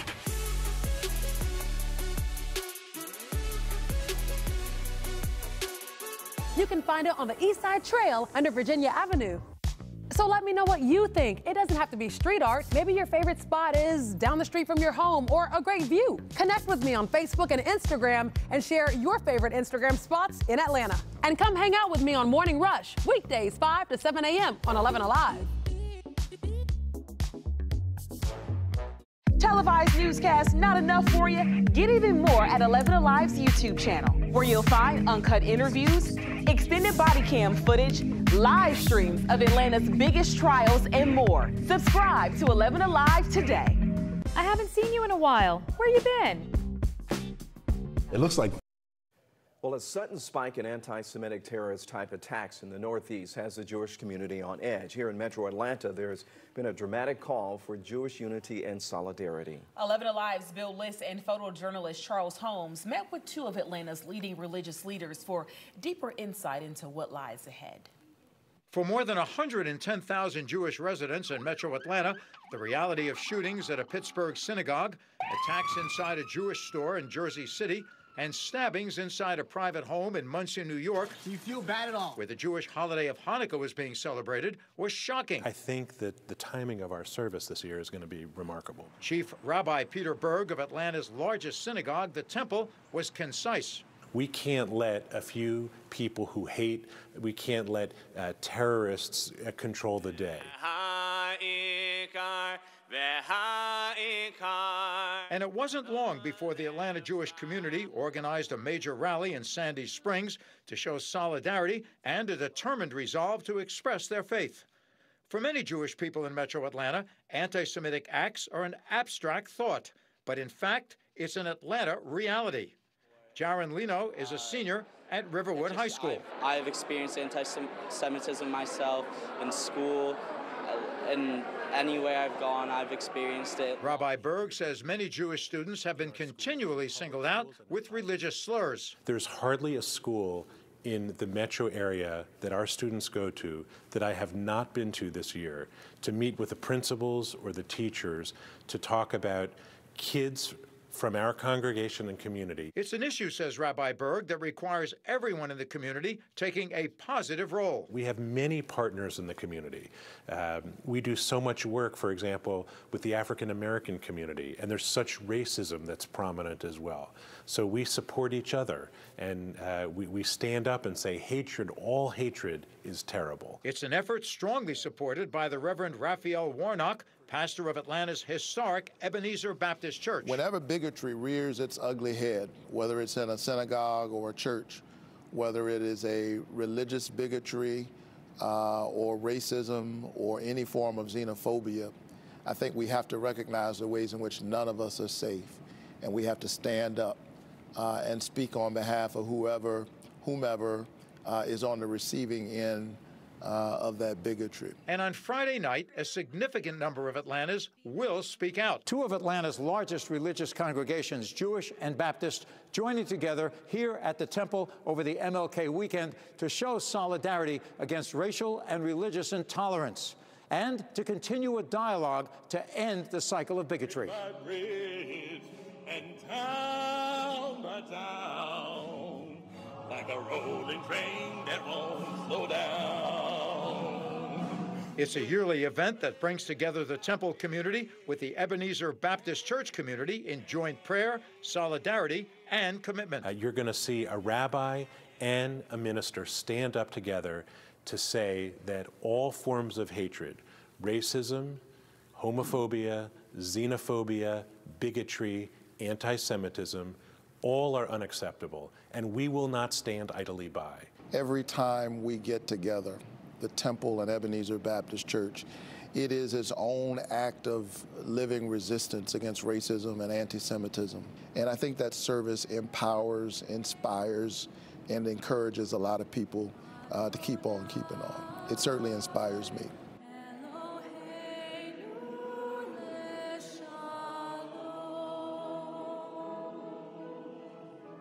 So good to see this. I'm curious what's being done to bring unity in the greater Atlanta community beyond Ebenezer and the temple. Well, the rabbi, for one thing, has been speaking at the mosques. It happened earlier this year when there was an incident with a Muslim shooting somewhere else in the country. And Reverend Warnock has told me the same thing. He often gets together with the church and with the Muslim community and talks to them. So there's a great unity going on between the Jewish community, the African American community, and the Muslim mm. community to promote, as you just said, that feeling of great unity within Atlanta. And this joint service tomorrow night, everyone has a chance to be a part of it. Absolutely. The wonderful part about that, folks, we are going to be streaming that service on our 11 Alive website tomorrow night. It will be live, starts at 8 o'clock at the temple. It will also be available if you have a, an app on your phone, you'll be able to watch the whole thing. So all kinds of people can be able to watch it, and we think it will be community-wide. Perfect. Bill thank you so much. Okay. It's so nice to be dry out there tonight and not be tracking any showers or approaching thunderstorms or anything like that like we have been uh, over the past few nights. So dry weather. We do have some clouds around though. There is a system out to the west that we're watching that is going to bring a little moisture our way. Now, right now, it's been spreading some moisture into parts of Mississippi and Alabama. That part is drying up now. Really, the core of that system is still out to the west, and that's still going to take a little while before that system makes it into our area, bringing us rain, and that's mainly going to be on Saturday. Now, let me show you a new development that we have out there for today. Remember on Monday night, maybe you were watching the national championship game, and then late that night, uh, we had some storms that came through on the south side, and uh, it caused some damage down in Pike and Spalding County. The National Weather Service surveyed the damage, and they uh, were able to find out that from that damage that it was an EF0 tornado in Pike County near the Reedsboro area with winds of about 80 miles an hour, and it was on the ground for about a mile and a half. It did some damage to some trees and some buildings down there as well. That same system, when it went into Spalding County, uh, a, a, funnel touchdown again there with a rating of an EF0 as a tornado, the wind speed at 85 miles an hour, but the path is only about a third of a mile long. It also caused some damage with some trees, took the roof off of an outbuilding as well. So some damage down there from those storms. We don't have any storms in our area tonight, thank goodness. And even with the rain coming in for the weekend, we're not expecting any severe weather with that. We're going to break down the timing of that rain and what happens when that rain moves out? We're going to talk about that colder air in just a few minutes. All right, Chris, we'll see you in a couple of minutes, sir. Topping our speed feed tonight, a woman was possibly forced into a van, and now Atlanta police say they need your help. APD says they received a call from witnesses who say that they saw two men take a woman from the passenger side of an Infiniti and then force her into a white work van. The incident taking place this morning on Moreland Avenue. This is near Custer Avenue in southeast Atlanta. Investigators said the men took the Infiniti and they're now looking for that car car, and that's where they need your help here. So here's a description. There's some distinct markings to look out for. The Infiniti has a temporary tag, and the gas filler door appeared to be missing or painted black. Anyone with information is urged to call APD. A group of thieves moving fast, quickly breaking into 26 vehicles within just two hours overnight at different apartment complexes and hotels in Gwinnett County. Take a look at these photographs here of three suspects. Police say they got into the cars by smashing the windows, mostly taking wallets. Police are asking people to look out for a black SUV, possibly a Jeep Cherokee with blackout rims and a long sticker on the top of the back window. A man has now been indicted for the murder of an internationally known UGA professor after she was found dead next to a hot tub in Baldwin County. Marcus Lillard was charged in May for the murder of Marianne Shockley. Another man who was there at the time is the one who called 911. Investigators say they spoke with him shortly before he killed himself at the scene. We spoke to some of Shockley's former students who say that she was a wonderful woman, strong and talented. And to hear a lot more about her life and those who knew her, knew her, you can read more on the 11 Alive app. He was on death row, scheduled for execution today, but in the final hours, the state board spared Jimmy Meders' life.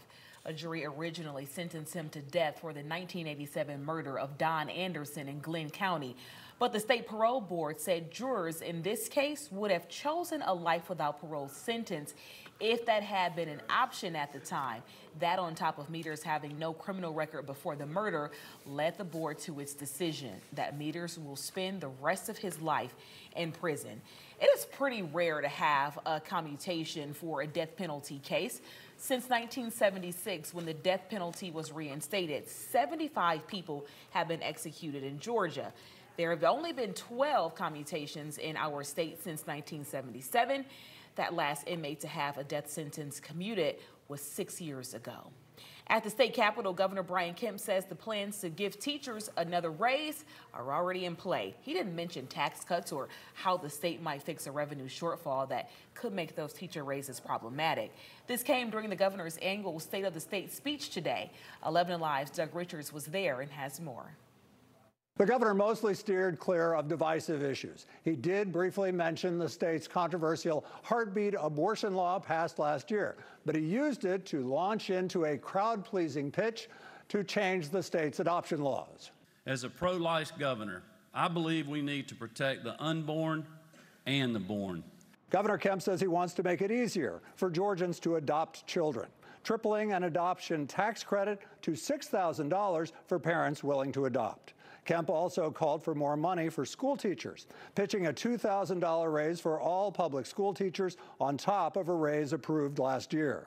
Let's give our educators another well deserved pay raise. He's made the promise. It is up to the rest of our politicians across the state to stand behind that and value public education as much as he has shown that he does. Former Governor Nathan Deal was among the luminaries in the audience for Kemp's speech, along with Atlanta Mayor Keisha Lance Bottoms. Senator Johnny Isakson. Retired Senator Johnny Isakson was also in attendance. The governor promised to create a Parkinson's disease research project at UGA in Isakson's name. Kemp also backed a cause at the Capitol to eliminate surprise medical billing for out of network treatment. Democrats said they'd back that effort, but also called it insufficient to help Georgians lacking health care insurance. The answer was full Medicaid expansion, and we have not done that and have not shown that we're going to be a willingness to do that. And so the concern is that we're actually just providing a band aid on a very serious health concern that are facing all of our Georgians. The governor did not mention the film industry or the state's generous tax credits, which have come under fire from two state audits released in the last week or so. All right, straight ahead, it's more than just a leash. A nonprofit organization is stepping up to make sure first responders are equipped to help animals in need.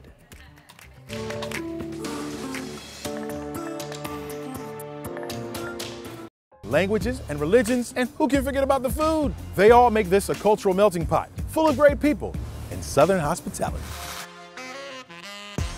Atlanta's rich history is unmatched, known as the cradle of the civil rights movement for good reason. Dr. Martin Luther King Jr., Andrew Young, John Lewis, they all fought in the struggle for equal rights right here. Businesses on Sweet Auburn Avenue, local black churches, and college students from Atlanta all helped shape the future of America. Once an Olympic city, Atlanta's home to the best sports scene across the nation. Hey, look, the South has something to say. You won't find more passionate fans anywhere. From the Atlanta Braves home run king, my man Hank Aaron, to the human highlight film Hawks Dominique Wilkins, some of the greatest athletes have come through Atlanta. We're talking the Falcons, the Braves, the Hawks, the MLS champs, Atlanta United. This city has something for every kind of sports fan.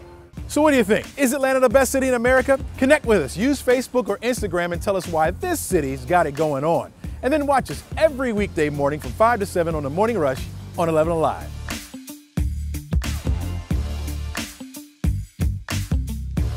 Televised newscast not enough for you? Get even more at 11 Alive's YouTube channel, where you'll find uncut interviews, extended body cam footage, live streams of Atlanta's biggest trials, and more. Subscribe to 11 Alive today.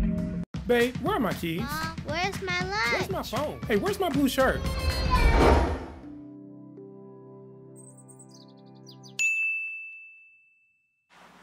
Where's my pen? Have you seen it? Everybody has learned how to drive, so I'm going to go ahead and retire. It didn't last long. Crank up your morning rush with Crash Clark. Weekdays, 5 to 7 a.m. on 11 Alive. Traffic brought to you by John Foy Associates. I woke up at 2 in the morning to be here.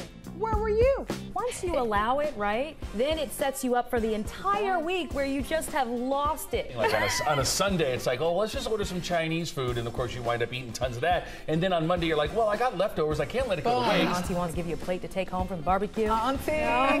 Auntie, don't invite me to the barbecue. I'm going to be looking for you next time. So use the hashtag and let us know you're hanging out with us. Morning Rush, weekdays, 5 to 7 a.m. Only on 11 Alive. The 11 Alive app is your go to source for all things Atlanta. You hear what happened today? I'll tell you all about it. Breaking news the moment it happens. The boil water advisory. Hyper local, accurate weather alert. You may want to grab that sweater, maybe even a coat. More stories to uncover. More videos to discover. He did it his way. Personalized for you. And that's what makes it so special. The 11 Alive app.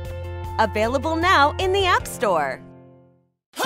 Hey, I got the ways to go. I got moves to make, homie, but I stay in the flow. See, I just do it.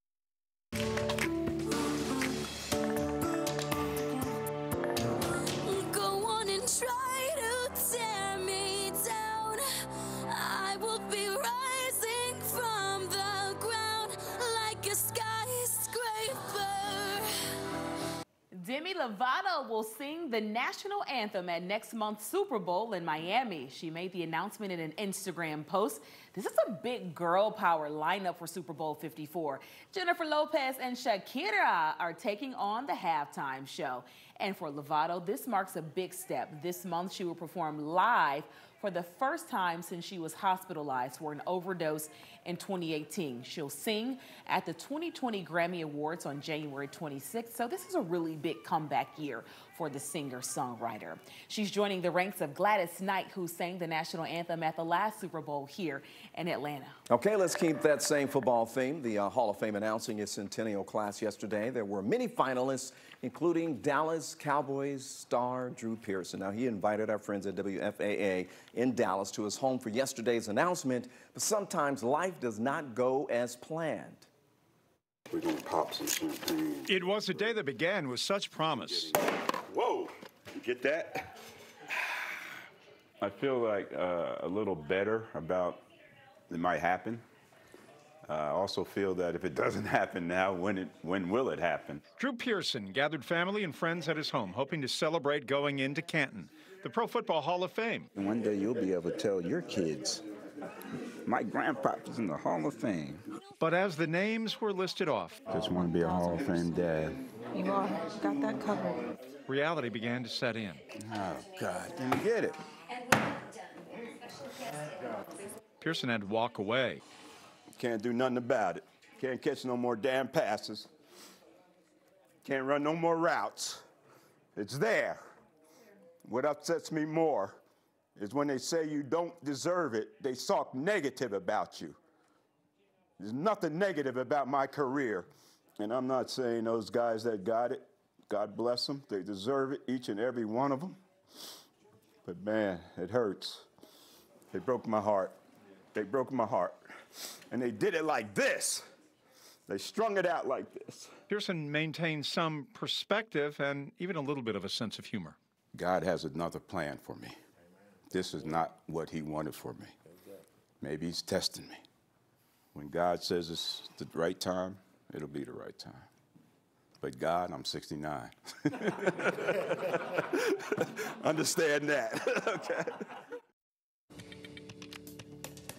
Dry weather out there tonight. We're not tracking any showers or thunderstorms around. It's going to be a quiet night out there. We do have a few clouds around, and temperatures are falling tonight as well. The rain is out to the west, and this activity that you see in Mississippi trying to push into Alabama is falling apart. The main part of that system is still really far out to the west, and that's still going to take a little while before it makes it here. We will eventually see some rain moving in on Saturday. We don't expect storms. It's going to be on the cool side with that rain moving in, and maybe about a half inch of rain during the day on Saturday. Now, I want to show you our temperatures for today. Take a look at the almanac. We made it up to 65 degrees for a high temperature this afternoon, which is lower than yesterday. Yesterday, we got up to 72, which was one degree away from the record. So, yes, it wasn't as warm today, but it was still above average. We should be at 52 for this time of year, and our average low for this time of year should be 34 this morning.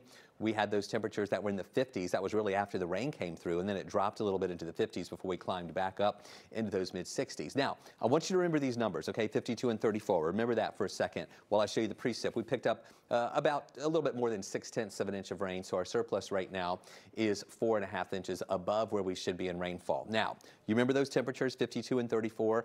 That's where we should be for this time of year. Yesterday, we were 20 degrees above average when we hit 72 degrees. And we've had this mild air that's in place. Now, it is going to be a little bit cooler uh, as we go into tomorrow in the mid 50s. Saturday will be in the mid to upper 50s. Uh, but that's still on the mild side compared to the much colder air that is up to the north. And so we'll have some showers on Saturday. And after those showers move through, the colder air is going to start spilling in here. We'll begin to feel that on Sunday with temperatures that'll be in the lower 50s. It'll be a little bit breezy, but then you will really feel the cold air on Monday and into Tuesday. We're going to see the temperatures fall into the upper 20s Monday morning with afternoon highs that'll be in the upper 40s. Tuesday and Wednesday morning, even in the mid 20s for lows with afternoon highs that'll be in the 40s. So that cold air stays with us through Tuesday and Wednesday, and then it retreats to the north, and we begin to see that milder air coming back in once we get to the end of next week. And then that opens the door for a little bit of moisture to return for the end of next week, too. Right now, we're in the 50s here, 40s in Carrollton, 40s up in North Georgia. Most places are in those 50s, even mid 50s now in Athens and over in Eatonton and in Thomaston as well. We'll get up to 55 in the afternoon tomorrow. Our scale from 1 to 11, where 11 is a perfect day, we're going to go with a 9. We will see clouds around tonight and then also for the day tomorrow. Uh, we're just going to say mostly cloudy skies, some sunshine here and there. Not totally overcast, but also not totally sunny, too. And there's that rain for Saturday. The best chances for rain will be afternoon and evening. And then we dry out Sunday, temperatures back down to 51. And there you see those 20s for Monday, Tuesday, and Wednesday morning. Afternoon highs only in the 40s. We're back up to the lower 50s on Thursday. That's with a few more clouds around. And we'll start to introduce a rain chance coming in for the end of next week, too. All right, folks, you know what time it is. You see your screen. It is time for Thursday's edition of the A Scene, and they are the stars in the freeform series called Grownish, and they went to my alma mater, Kittredge Magnet School. I am talking about these Atlanta sisters, Chloe and Halle Bailey, teasing new music dropping this year, and it all went down in an interview with the magazine Pop Sugar. The sisters say their next album, Ungodly Hour, is dropping later this year. They say the name actually came from a recording session with a musical duo of brothers. Now, Halle says this album album is more grown and sexy and darker. Ooh. And Chloe says their new music sounds like it belongs on an episode of HBO's Euphoria. Now, we don't know the exact release date yet, but you can see them tonight on Grownish, which premieres tonight. And finally, look who is the DJ for the Atlanta Braves' upcoming Chop Fest Gala. Jermaine Dupri taking to his Twitter to announce the big news. Presented by Northside Hospital, the gala actually raises funds for various community organizations. It goes down at the Coca-Cola Roxy on January 24th. When first responders show up to an emergency, they're there to help every man, woman, child, and animal on scene. And while they have the tools to help the people, they sometimes aren't equipped to help the pets. Caitlin Ross found a local nonprofit that's aiming to change that through her digital series, K9 Kate. Oh, and since you've done this before, I'm going to ask you to kind of help along too, okay, buddy? Aaron Fisher loves teaching kids in the community how to help the animals who live there too. Hold it here, and I let it fall boop, let it fall. He's showing the pet club at the Howard School how to make leashes for homeless or distressed animals. So what sort of information exactly should go on a cat and a dog's collar so that we can return it to its owner? After they're put together, the Atlanta Rescue Dog Cafe donates the leashes to firefighters, EMTs, or police officers who are likely to meet animals in need in Atlanta. It's more than just a rope, more than just a leash. It has a lot of meaning to it. It's very personal. So when the firefighters, the police officers, or someone from the public gets one, they see what makes each lease special. Owen Fusco is in sixth grade and loves the project. Last year, I did it um, for my dog that passed away, um, and yes, it meant a lot. Like all students in the pet club, his family loves animals. We had like hermit crabs, but right now we have two lizards, two um, dogs and three cats. And it's actually, I think, our longest standing um, club, 11 years. Lower school principal Pam Krakowski thinks learning these skills is so important for the kids. Children really relate to animals and it helps them, um, they feel safe with them and it helps them to build empathy. Big pound. Nicely done. The Atlanta Rescue Dog Cafe hopes to eventually open an actual cafe here in the city for people to come together and learn about animals and how to help them to 7 a.m. only on 11 Alive. The 11 Alive app is your go to source for all things Atlanta. You hear what happened today? I'll tell you all about it. Breaking news the moment it happens. The boil water advisory. Hyperlocal, accurate weather alert. You may want to grab that sweater, maybe even a coat. More stories to uncover. More videos to discover. He did it his way. Personalized for you. And that's what makes it so special. The 11 Alive app. Available now in the App Store. Hey, I got the ways to go. I got moves to make, me, but I stay in the flow. See, I just do what I say I'm gonna do. No, movement ain't. You can assume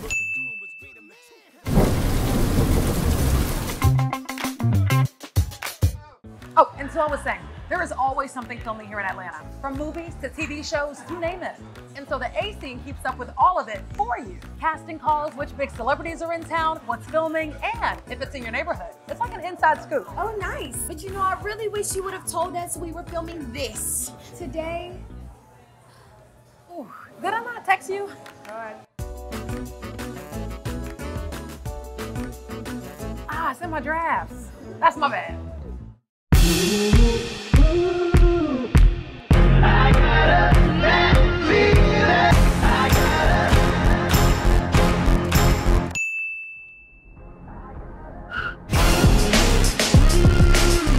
So you slept in and you missed morning rush, huh?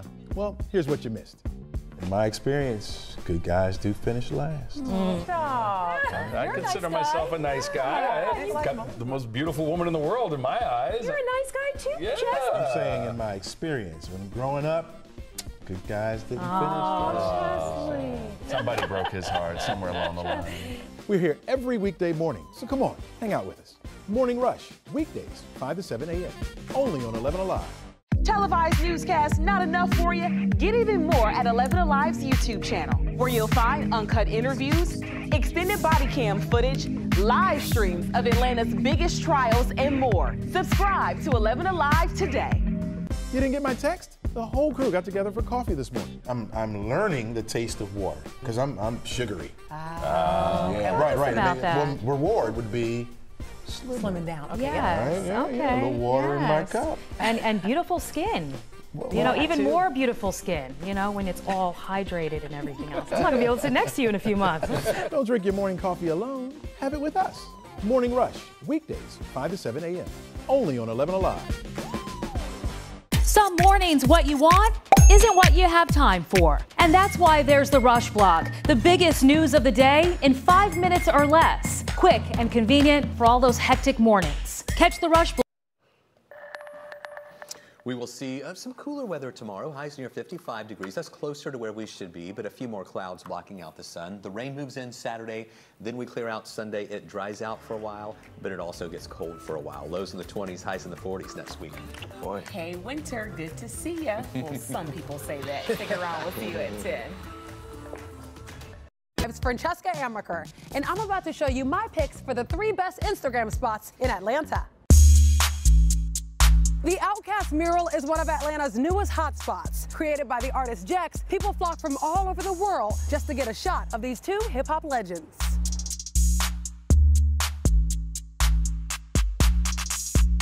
News of the mural went viral when Big Boi himself gave a shout out on Instagram. You can find it tucked away in a back parking lot in Little Five Points. An Atlanta icon, ever changing, always interesting. The Krog Street Tunnel is full of artwork from some pretty eclectic Atlanta artists. Yeah, all we feel is good vibe. We vibe with it, it's a good time. We don't worry about the hate, we just pass it to the side. There's graffiti, community messages, concert announcements. You really never know what you're gonna get here, and that's what makes it so special. You can find it between Cabbagetown and Inman Park. If you've never checked it out, it's a must-see. There are hundreds of works of art along the Beltline. I'm talking murals, sculptures, photography. This beautiful mural was created by the artist HENSE. It's 100 feet long, and even though it was created in 2014, it still remains very popular to musicians and photographers alike.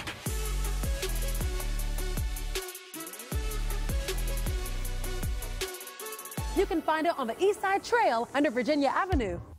So let me know what you think. It doesn't have to be street art. Maybe your favorite spot is down the street from your home or a great view. Connect with me on Facebook and Instagram and share your favorite Instagram spots in Atlanta. And come hang out with me on Morning Rush, weekdays 5 to 7 a.m. on 11 Alive.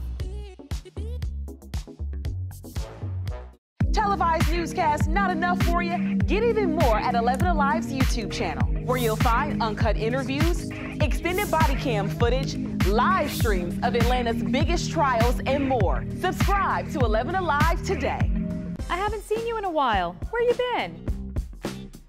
It looks like fun. They are fun. They're and they're lot of fun. convenient. But they're being dumped everywhere. 5,000 scooters at one time active throughout the city. I enjoy them myself. They're fun. There's got to be some regulations. I just feel like we have to evolve with the times, though. They're not mm-hmm. going anywhere. They shouldn't go anywhere. It's a new Yeah. way of transporting. Yeah. We have to evolve. I'm going to be looking for you next time, so use the hashtag and let us know you're hanging out with us. Morning Rush, weekdays, 5 to 7 a.m. You see them all day, every day. Headlines, stats, and numbers, but without context, they're just clickbait. So let's add some perspective. The three most interesting numbers of the day, what they mean, and why they're important. News and numbers on Up Late. Your voice, it is never too loud or too much. Your voice has the power to tell it like it is. bringing us together to act. Together, our voices grow. Together, we come alive, amplifying voices and breaking down barriers to change the story and shape the future. Together, we are unstoppable. 11 Alive News Primetime on the ATL starts now.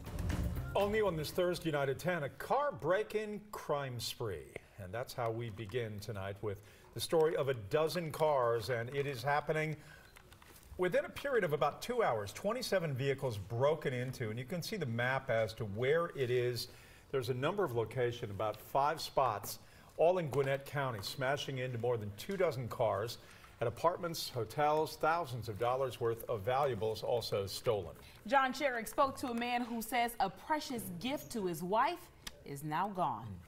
Three people did a lot of damage in a short amount of time. They swept through like a storm, targeting hotel and apartment parking lots in the Lawrenceville area early Tuesday morning. And in two hours, they broke into 26 vehicles. Walden Alvarez was parked at a Hampton Inn off of Riverside Drive. He left his valuables inside his pickup truck overnight. They stole my uh, my wife uh, wedding rings uh, worth about six grand um, my wallet with uh, $500 cash. And more. Surveillance cameras captured the three men at work, but did not get a good look at their faces. The cameras did get a better look at the SUV they were using, possibly a Jeep Cherokee, similar to this one, and it has black rims and some sort of sticker across the back window. This was a lot of incidences during a short period of time. Gwinnett County Police Corporal Kathleen Adams urging people to keep an eye out. Please, number one, do not, do not engage the suspect. Call 911 and be the best witness possible. Give a good description, whether it's clothes, vehicle, any information that our officers can use to help identify these suspects. Walden Alvarez, as mad at himself as he is at the thieves. I'm very, very frustrated, very upset, very mad because this is this is not right. So I, I'm, I'm very upset. Clearly, anyone is a potential target. One of the car break-in victims is a Gwinnett County police recruit. A convicted killer was supposed to be executed tonight, but at the last minute, his life has been spared. As the State Board of Parole stepped in and called off the death sentence, it is a rare event. It has not happened here in our state in years. Ryan Kruger shows us why this man's life was spared while others were not. For three decades, Jimmy Meders has sat on Georgia's death row. But with only a few hours to spare came relief. The State Board of Pardons and Paroles commuted his death sentence to life without parole. 11 Alive legal analyst Latonia Hines reviewed the clemency order. And they talked about the fact that he had no prior, like a, a really minimum uh, criminal history, and that he had been a model um, you know, inmates during those 30 years. Since the death penalty was reinstated in the 1970s, 75 people have been put to death in this state with only 12 commutations. The most recent ones were Tommy Waldrip in 2014 and Daniel Green in 2012. So why was this execution thrown out? The clemency order says because in 1989, when he was convicted, life without parole wasn't an option. And the jurors that were spoken to about this, they said had they had this option, that probably would have been what they would have gone with. Meders was convicted of killing a store clerk. Meanwhile, back in November, Ray Jefferson Cromartie was executed in Georgia for also killing a store clerk.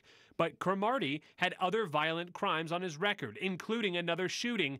Meders didn't have a violent record. At the times when the jurors were considering the case, they didn't have the option that you have now in death penalty cases of being able to make that decision of life without the possibility of parole. And I also spoke to a law professor who told me that death penalty sentences in Georgia have dropped dramatically ever since the state started allowing life without the possibility of parole. That happened in the mid 90s. A woman possibly forced into a van and kidnapped. Now Atlanta police need your help to find her. APD says they received a call from witnesses who says that she saw two men take a woman away in a gray Infiniti and force her into their white work van on Moreland Avenue this morning. Happened around 8. Investigators say the men took the Infiniti and now they're looking for that car. There's some pretty distinct markings on the car, though. It has a temporary tag, and the gas tank door appeared to be either missing or painted black. A man has been indicted for the murder of an internationally known UGA professor. She was found dead next to a hot tub in Baldwin County. Marcus Lillard was charged in May for the murder of Marianne Shockley. Police say a man who called 911 killed himself at the scene. We spoke to some of Shockley's former students who remembered her as a wonderful teacher and a wonderful person. To hear more about her life from those who knew her, you can read our story on the 11 Alive app. We've learned a murder suspect killed during an attempt to serve a search warrant was 19 years old. The officer involved shooting unfolding this morning. On Chasebrook Drive in Powder Springs, the GBI says Samuel David Mallard was wanted on an outstanding arrest warrant for murder and aggravated assault with intent to rob. 11 Alive's Joe Henke breaks down what we know. For several hours today, investigators with the GBI focused on the roadway behind me here and specifically that red car, which is boxed in by cars from the Cobb County Police Department. We are told that is where the officer involved shooting took place this morning as officers attempted to serve that arrest warrant for murder. In the middle of Chaseway Circle near Powder Springs, double digit evidence markers covered the shooting scene, where Cobb County police confirm an adult male, a suspect in a murder case, was shot and killed. The red car in the center of it appeared to have two bullet holes in the windshield and a shattered passenger side window. Before the shooting, one man living on Chaseway Circle says he heard officers yelling at someone to get on the ground. Deborah Ingham says she heard a quick series of gunshots that one of her neighbors witnessed. She was walking her dog and she saw uh, the police shoot him. Cobb County Police ended up here as part of an investigation into several crimes. series of violent crimes to include a murder. This investigation has been ongoing for several days. Cobb County Police Chief Tim Cox says while trying to serve a warrant this morning, his officer shot and killed one of the murder suspects. We have a sleepy little neighborhood. It's just, it's wonderfully quiet. And so to hear that is surprising. And while Chief Cox would not discuss the specific crimes connected to the ongoing investigation from his department, he did confirm their case is not closed. Uh, we do have some of the suspects in custody. Uh, it's exactly uh, who they are or ages I'm not going to disclose right now. There are other suspects that we we're in the process of uh, interviewing and looking for. Several neighbors we talked with say they do not know who was involved in the shooting this morning, but they tell me that red car that investigators have been focusing on, they've never seen it on their street before, so they at least are assuming that the person involved in the shooting did not live in their neighborhood. And the Cobb County shooting is the fourth officer involved shooting the GBI is investigating this year. So just last night, a man was shot and killed by police in Lawrenceville. It happened at the Wendy's on Scenic Highway. Police say workers called them about a man who had a beer and wouldn't leave. When an officer showed up, he got angry and fought the officer. Witnesses say Albert Lee Hughes grabbed a chair and started attacking the officer. Investigators say an officer used his taser, but that wasn't enough, so the officer shot Hughes. A mother's plea that launched a movement, and today her dream becomes a reality. It was all set into motion last year after an exclusive 11 Alive interview with Catherine Leach, the mother of one of the 29 victims killed in the infamous Atlanta child murders case directly asked the city for a memorial. Mayor Keisha Lance Bottoms, who says she was moved to honor the children after our reporting, unveiled one of two memorials for the lives lost at City Hall today. Artists were asked to draw or paint one of the victims in the Atlanta child murders case. From those, they chose one artist to depict the portraits of the 29 victims at the Atlanta Hartsfield Jackson Airport in May. Dwayne Mitchell was the chosen artist for the project. I think it's something that's long overdue. Um, as I, you know, I was a part of this um, of that dark time. I remember um, going to school, and I remember hearing about these kids missing. Um, I remember the curfew, you know, that we had. So I think it's something that's definitely long overdue. The city will also have the portraits on a gallery on its website. If you want to see them here, you can until February 6th. A former Gwinnett County deputy indicted on charges of excessive force involving an inmate in 2018. All of this was caught on surveillance video. And video showing the former deputy sheriff, Aaron Masters, punching a female inmate three times. The 27 year old was later fired. According to the indictment, he also filed a false report trying to justify his use of force.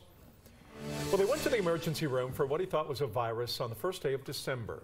He died a couple of weeks later on Christmas Eve, his 34th birthday. The fiance of ESPN college football reporter Edward Aschoff took to Twitter yesterday, revealing what killed him was much more than just a virus or pneumonia as everyone first thought. She says an autopsy revealed that Aschoff had stage 4 non-Hodgkin's lymphoma in his lungs. It is a disease almost impossible to detect until its final stages. Tonight we're getting perspective from 11 Alive medical correspondent Dr. Sujatha Reddy about some early signs to be on guard for. You may notice, you know, bumps or lumps under your arm, in your groin, in your neck, and they're not going to go away in a couple of days. If you see that, you definitely want to go to your healthcare provider. So, the other information is just days before his death, doctors started treating him for a rare disease known as HLH. Aschoff's fiance said in her Twitter post that pneumonia and non Hodgkin's could trigger HLH, which is what may have happened in the case of Mr. Aschoff. One of the most genuine and best people you would ever meet. That's how Carroll County is remembering Sergeant Lee Maxwell. In a post on Facebook, the sheriff says Maxwell died early this morning after a prolonged illness. Sergeant Maxwell joined the Carroll County Sheriff's Office in 1994, working with several units over the years. Most recently, he was sergeant over the School Resource Officer Division, serving Mount Zion schools. The sheriff calls his passing, quote, a tremendous loss for the community. We're enjoying a dry night out there tonight. A few clouds are around the area, but those clouds aren't producing rain yet. We're tracking this system out to the west. I'll let you know when it's going to get here and what part of the weekend it'll impact. Governor Kemp says educators deserve another pay raise. How much money teachers could soon be earning. Kind of sports fan. So what do you think? Is Atlanta the best city in America? Connect with us. Use Facebook or Instagram and tell us why this city's got it going on. And then watch us every weekday morning from 5 to 7 on the Morning Rush on 11 Alive.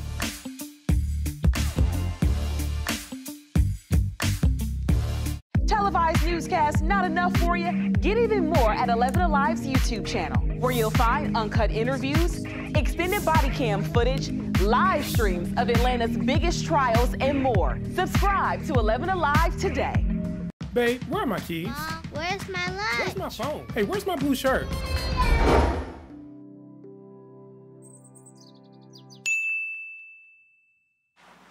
Where's my pen?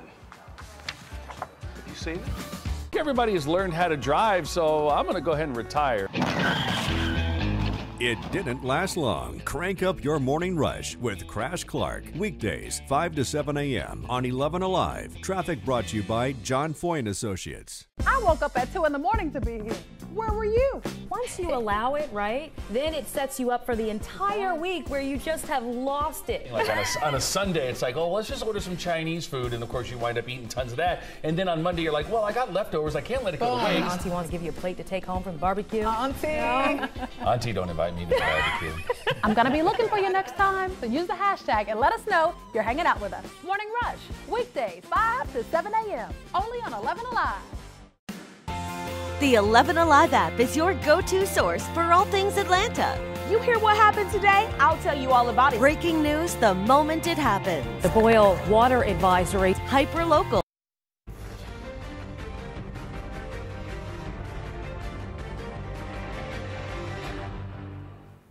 Supreme Court Chief Justice John Roberts has taken his place as judge in the impeachment trial of President Trump. Senators walked up in groups of four to give their oath to do, quote, impartial justice. They will be acting as jurors. This is all after they heard the two articles of impeachment read aloud yesterday.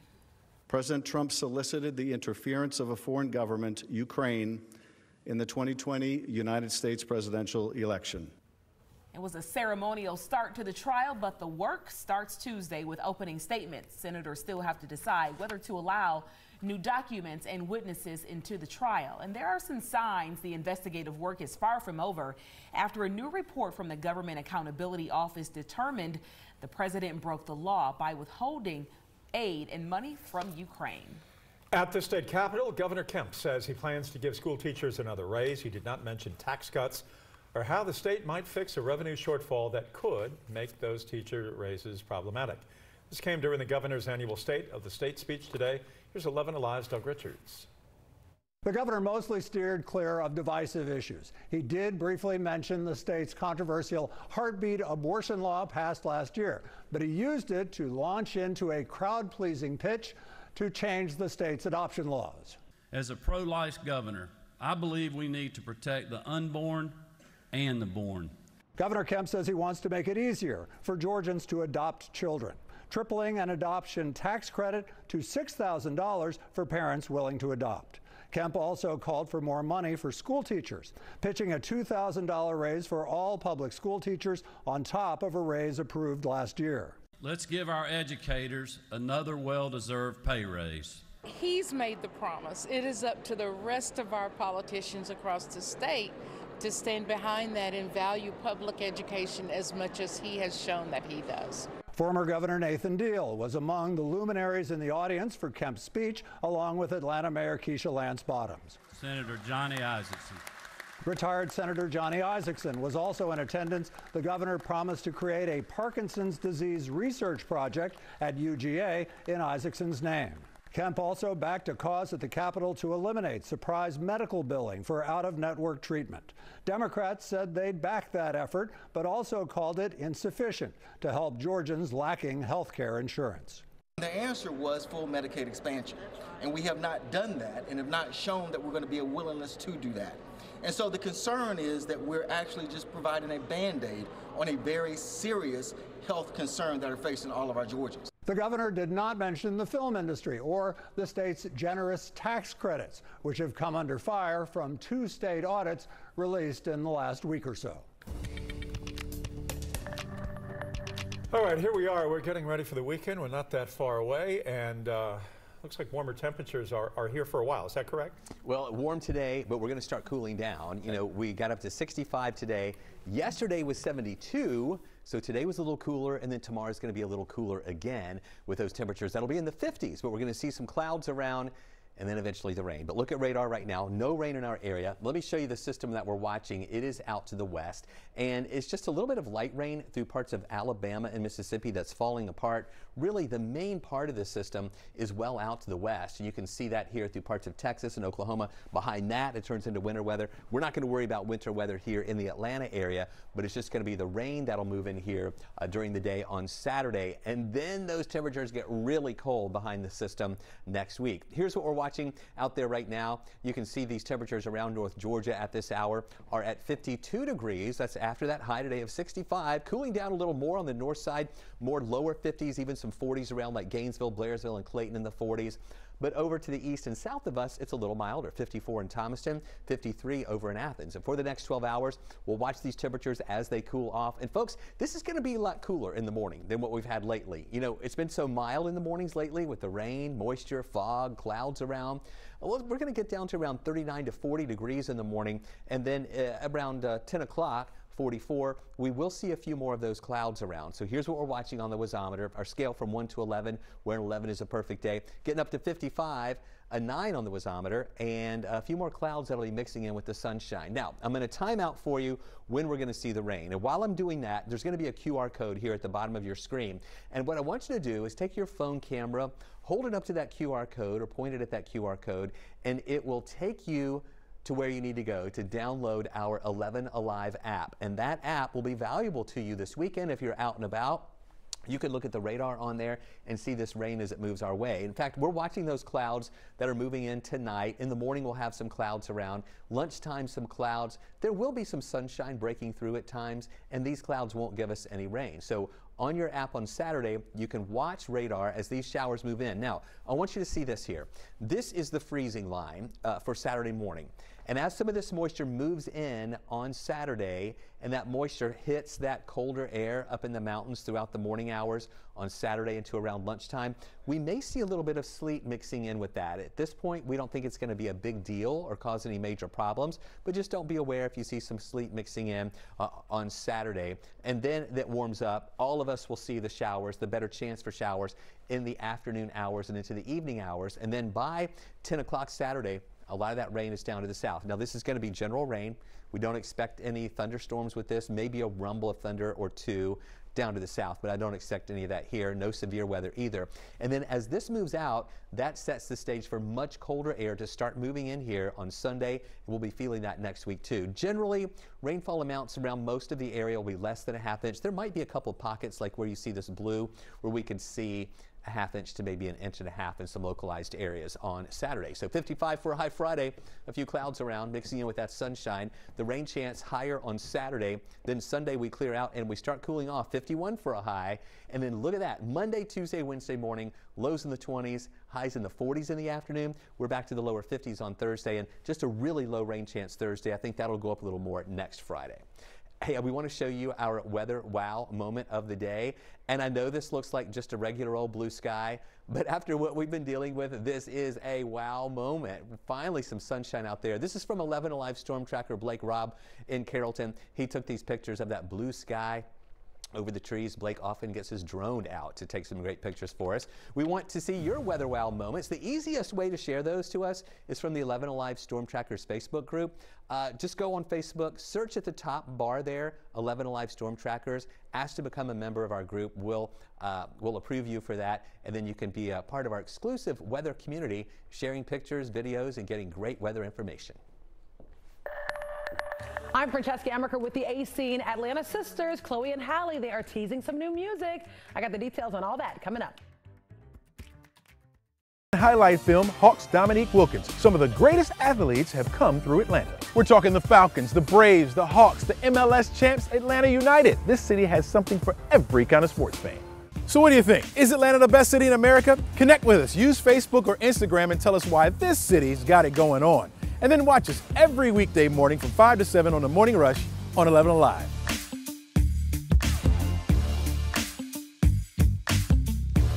Televised newscast not enough for you? Get even more at 11 Alive's YouTube channel, where you'll find uncut interviews, extended body cam footage, live streams of Atlanta's biggest trials, and more. Subscribe to 11 Alive today.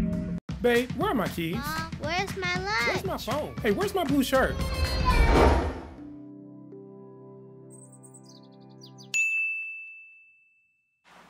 Where's my pen? Have you seen it? Everybody has learned how to drive, so I'm going to go ahead and retire.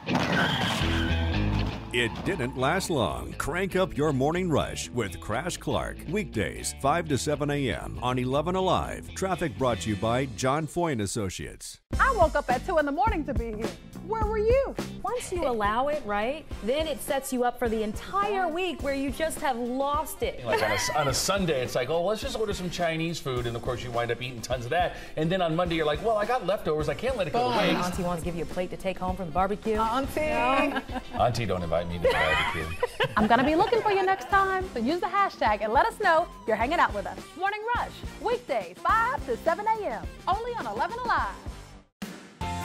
The 11 Alive app is your go to source for all things Atlanta.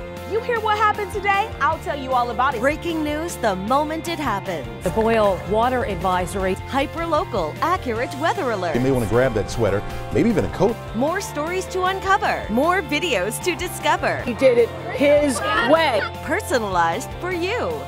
And that's what makes it so special. The 11 Alive app. Available now in the App Store.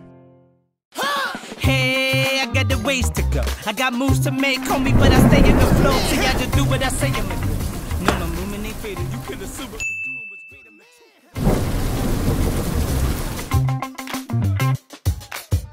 Oh, and so I was saying, there is always something filming here in Atlanta, from movies to TV shows, you name it.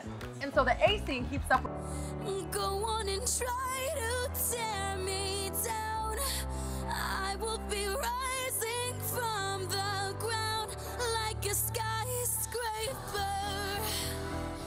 Demi Lovato will sing the national anthem at next month's Super Bowl in Miami. She made the announcement on Instagram. This is a big girl power lineup for Super Bowl 54.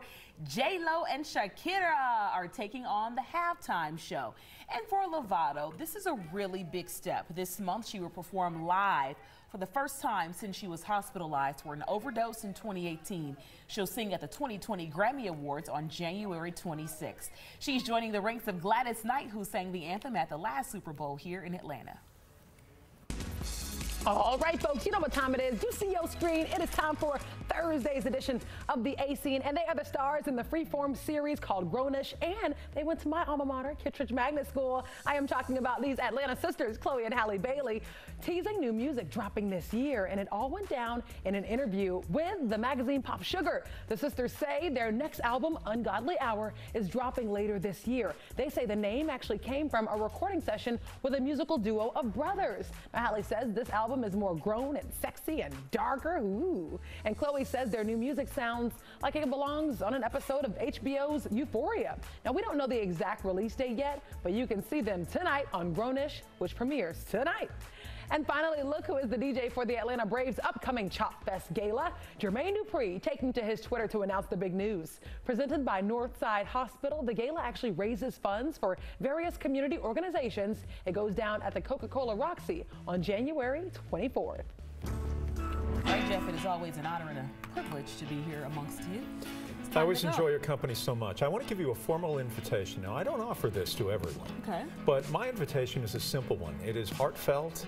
It is from my very soul. Would you stay another 30 minutes? I humbly decline. Good night. We'll see you on Up Late at 11. Coming up, delayed only two months from the presidential primary, new election machines are being pushed back another week. The potential impact is coming up next. Traffic brought to you by John Foy and Associates. Atlanta is filled with great photo spots. And of course, I would know because this is my hometown. I'm 11 Alive's Francesca Amaker, and I'm about to show you my picks for the three best Instagram spots in Atlanta.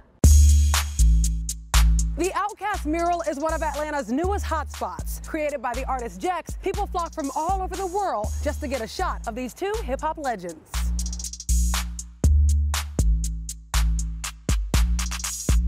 News of the mural went viral when Big Boi himself gave a shout out on Instagram. You can find it tucked away in a back parking lot in Little Five Points. An Atlanta icon, ever changing, always interesting. The Krog Street Tunnel is full of artwork from some pretty eclectic Atlanta artists. Yeah, all we feel is good vibes. With it, vibe with it, it's a good time. We don't worry about the hate, we just pass it to the side. There's graffiti, community messages, concert announcements. You really never know what you're gonna get here, and that's what makes it so special. You can find it between Cabbagetown and Inman Park. If you've never checked it out, it's a must-see. There are hundreds of works of art along the Beltline. I'm talking murals, sculptures, photography. This beautiful mural was created by the artist HENSE. It's 100 feet long, and even though it was created in 2014, it still remains very popular to musicians and photographers alike.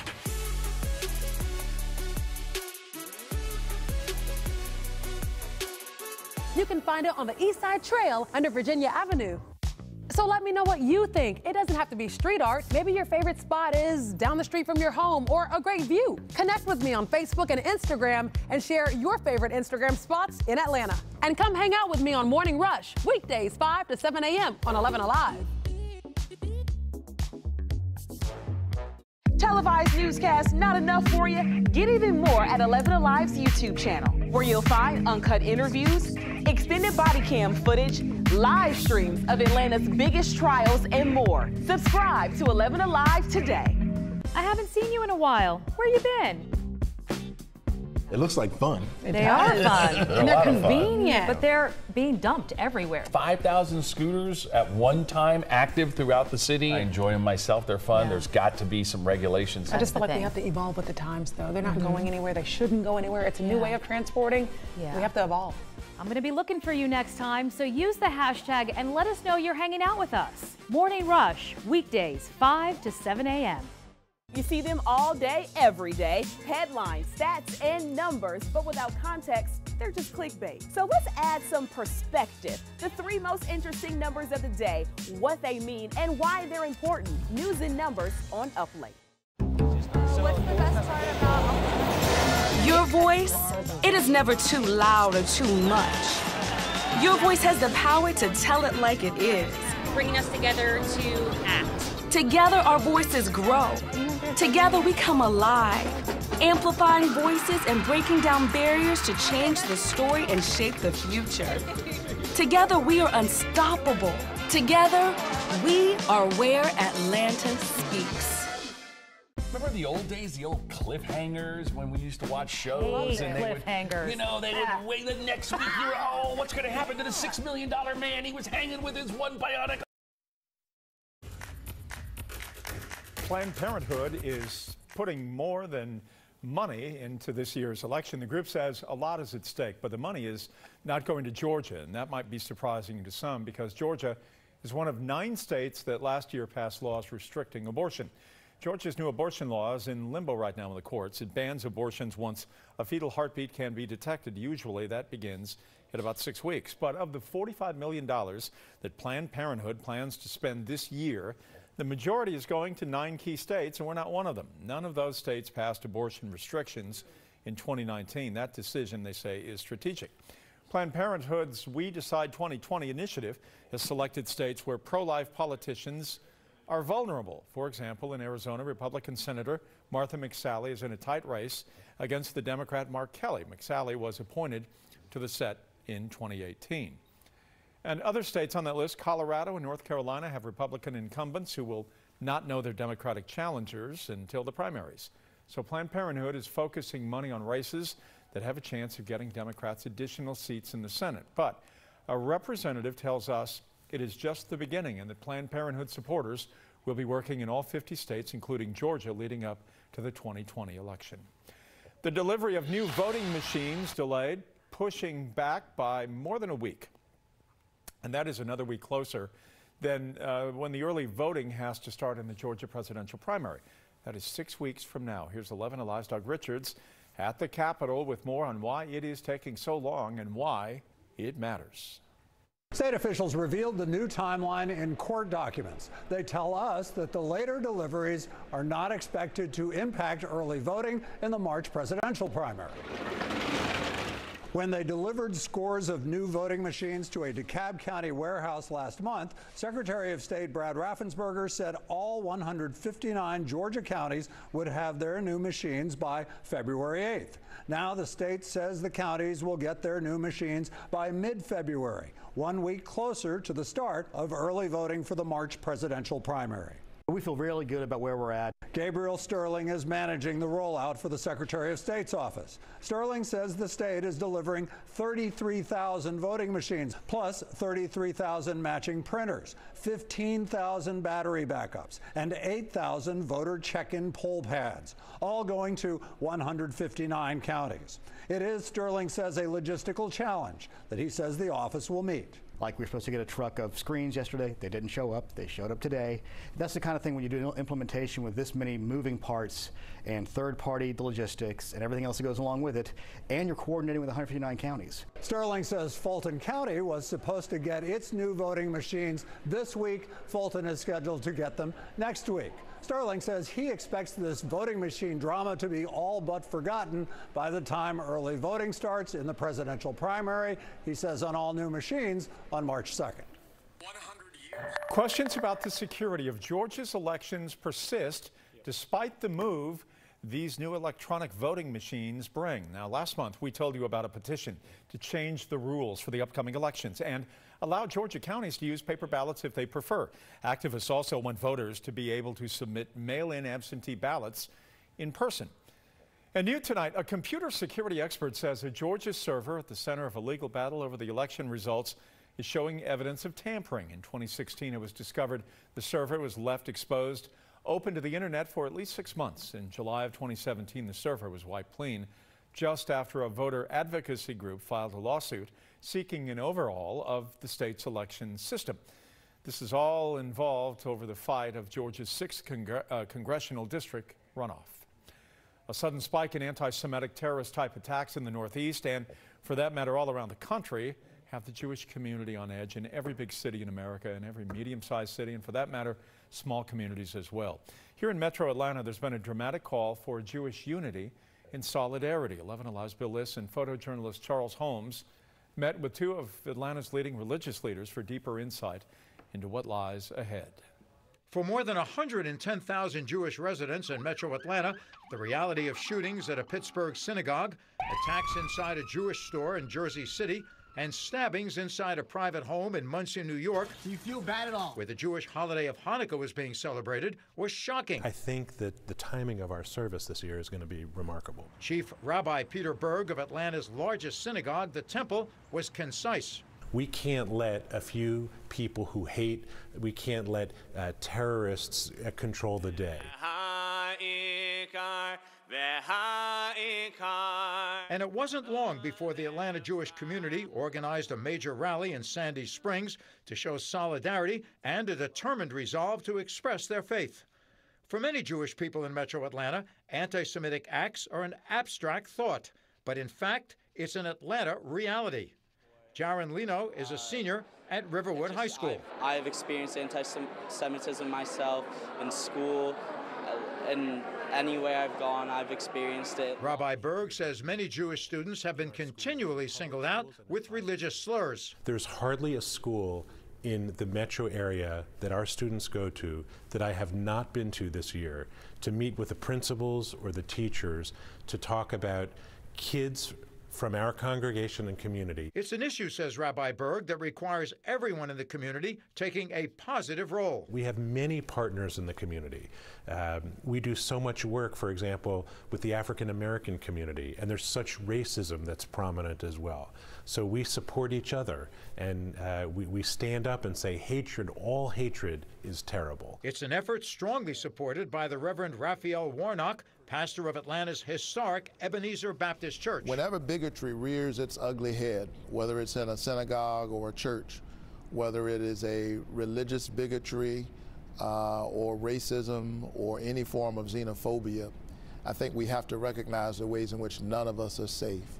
And we have to stand up uh, and speak on behalf of whoever, whomever uh, is on the receiving end uh, of that bigotry. And on Friday night, a significant number of Atlantas will speak out. Two of Atlanta's largest religious congregations, Jewish and Baptist, joining together here at the temple over the MLK weekend to show solidarity against racial and religious intolerance and to continue a dialogue to end the cycle of bigotry.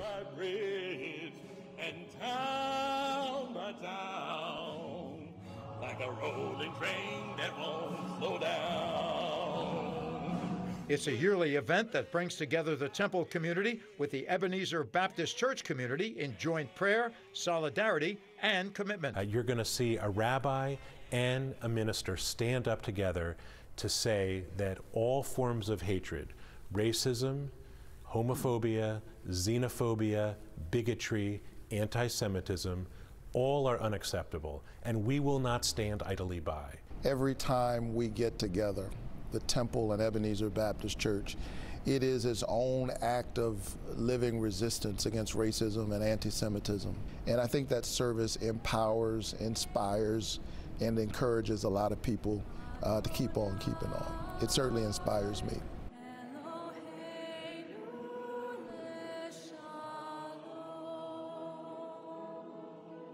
It's so good to see this. I'm curious what's being done to bring unity in the greater Atlanta community beyond Ebenezer and the temple.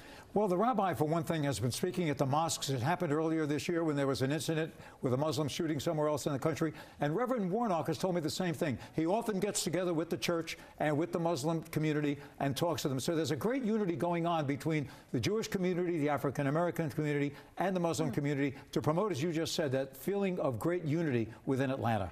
And this joint service tomorrow night, everyone has a chance to be a part of it. Absolutely. The wonderful part about that, folks, we are going to be streaming that service on our 11 Alive website tomorrow night. It will be live, starts at 8 o'clock at the temple. It will also be available if you have a, an app on your phone, you'll be able to watch the whole thing. So all kinds of people can be able to watch it, and we think it will be community-wide. Perfect. Bill Liss, thank you so much. Okay.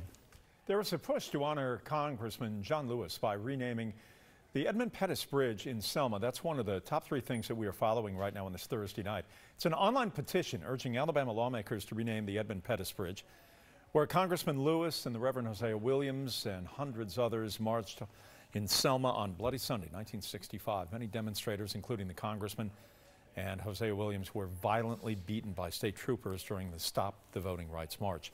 There's nearly 5,000 signatures calling for the change online. The Hall County Sheriff's Office says the death of a married couple, it was murder and suicide.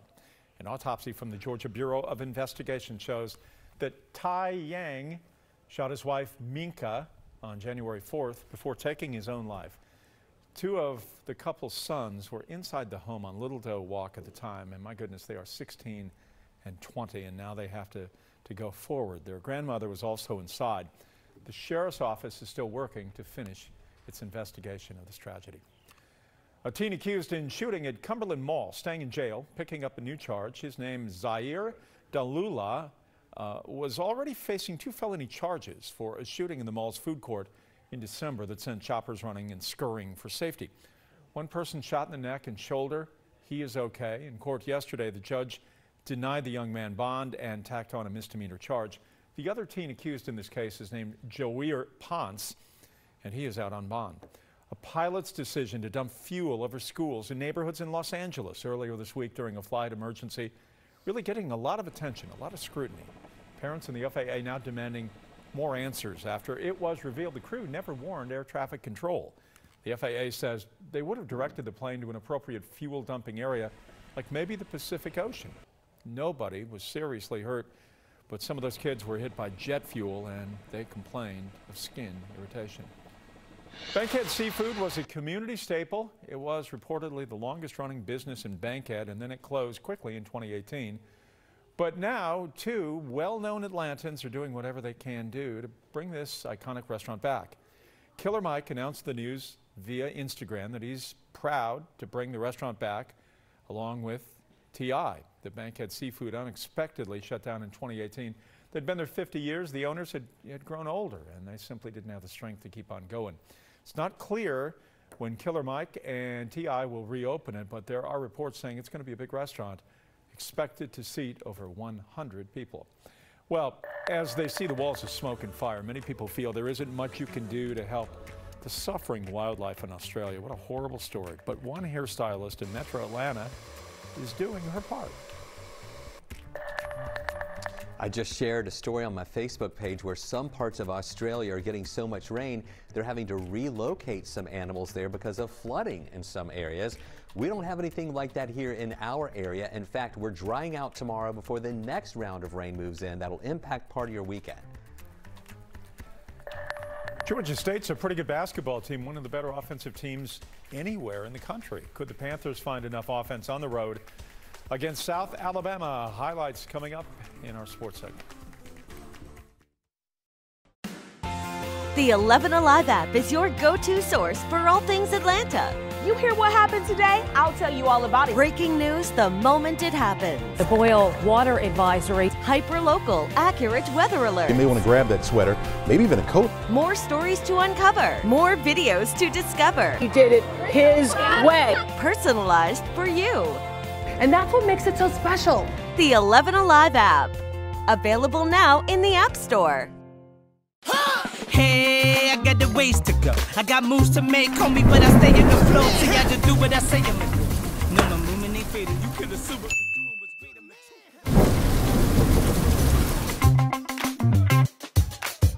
Oh, and so I was saying, there is always something filming here in Atlanta, from movies to TV shows, you name it. And so the A scene keeps up with all of it for you. Casting calls, which big celebrities are in town, what's filming, and if it's in your neighborhood. It's like an inside scoop. Oh, nice. But you know, I really wish you would have told us we were filming this today. Ooh, did I not text you? All right. Ah, it's in my drafts. That's my bad.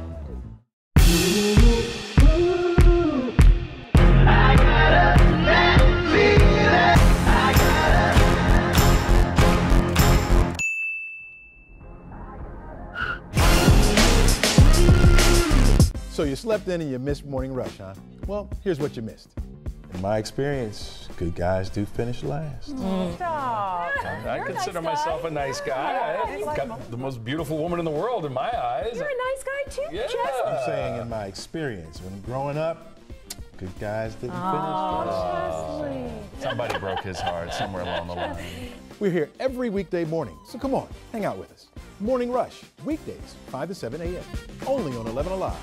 Televised newscast not enough for you? Get even more at 11 Alive's YouTube channel, where you'll find uncut interviews, extended body cam footage, live streams of Atlanta's biggest trials, and more. Subscribe to 11 Alive today. You didn't get my text? The whole crew got together for coffee this morning. I'm, I'm learning the taste of water because I'm, I'm sugary. Ah. yeah, right, right. about The that. reward would be Slimming down. Okay. Yes. Right, yeah, okay. yeah, a little water in my cup. And and beautiful skin. Well, you know, even too. more beautiful skin. You know, when it's all hydrated and everything else. I'm not gonna be able to sit next to you in a few months. Don't drink your morning coffee alone. Have it with us. Morning Rush, weekdays, 5 to 7 a.m., only on 11 Alive. Some mornings, what you want isn't what you have time for. And that's why there's the Rush Block, the biggest news of the day in five minutes or less. Quick and convenient for all those hectic mornings. Catch the Rush Block on the Morning Rush. Everybody has learned how to drive, so I'm going to go ahead and retire. It didn't last long. Crank up your morning rush with Crash Clark. Weekdays, 5 to 7 a.m. on 11 Alive. Traffic brought to you by John Foy and Associates. Atlanta is filled with great photo spots. And of course, I would know because this is my hometown. I'm 11 Alive's Francesca Amaker, and I'm about to show you my picks for the three best Instagram spots in Atlanta. The OutKast mural is one of Atlanta's newest hotspots. Created by the artist Jex, people flock from all over the world. Lawmakers took an oath this afternoon swearing to be impartial ahead of next week's highly anticipated impeachment trial in the Senate. But tonight, there are new revelations and allegations against the president and his involvement in the situation in Ukraine. Here's NBC's Jay Gray. A powerful new report from the Government Accountability Office indicates the White House broke the law by freezing military aid to Ukraine. The president's order to withhold nearly $400 million in aid as he asked Ukrainian officials to investigate his political rivals is at the heart of the ongoing impeachment. President Trump knew exactly what was going on. In an interview with MSNBC's Rachel Maddow, Lev Parnas, an associate of the president's personal lawyer Rudy Giuliani, says he was at the center of an effort to dig up dirt on Joe Biden and his son in Ukraine. This is an example of all of the president's henchmen. Arrested on campaign finance charges late last year. He's trying to probably make a deal for himself. I don't even know who this man is. Parnas is now cooperating with House impeachment investigators, handing over phone records and messages, including this handwritten note to get Ukrainian President Vladimir Zelensky to announce that the Biden case will be investigated and a text message exchange with an associate highlighting the push to oust the Ukrainian ambassador at the time, Marie Yovanovitch, suggesting she was under surveillance by private security, allegations now being investigated by police in Ukraine. It is going to take help from people all over the world for Australia to recover. A hairstylist in metro Atlanta wants to do her part. Her shop is raising funds for brush fire relief. Cuts for Koalas is a hair cutting drive created by East Point stylist Haley Jonet. The shop is offering a discounted rate. 50% of the price will go toward charity. Ms. Jonet was inspired to create the fundraiser after learning about the devastation happening overseas. Upon learning about the fires in Australia and everything, being here, not having a lot of money to help, um, feeling really small about it, anything that you can donate will help. People appreciate it. I've got friends over in Australia that are appreciative of everything that people are doing. The fundraising drive will continue Saturday at the Wayward Parlor. That's in East Point.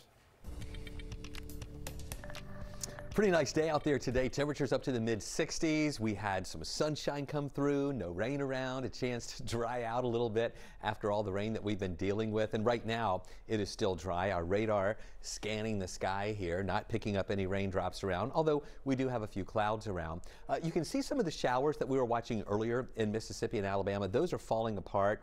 There's really not a big push for this moisture to move our way. And that's really not going to get here until we get into Saturday when we're going to see those showers move our way. So even though you see those showers out to our west, it's still going to take a little while before they get here. Look at these temperatures today 65. Our low this morning was 55. Now, the average for this time of year of what we should have in the afternoon is 52. The average morning temperature is around 34 degrees. So we were still above average today, but not as hot as we were yesterday when we got up to 72. That was near a record. We picked up about 61 hundredths of an inch of rain since midnight. Our surplus now is about four and a half inches above where we should be in rainfall for the year. So we just showed you how those temperatures have been above average. They were above average today. And we're finally going to see colder air moving in that'll eventually get us back to below average temperatures. So mild air has been in place here in the south and the cold air has been bottled up to the north. And we're going to stay mild the next couple of days. Tomorrow in the 50s, kind of comfortable. 50s again on Saturday with some rain that's moving into our area.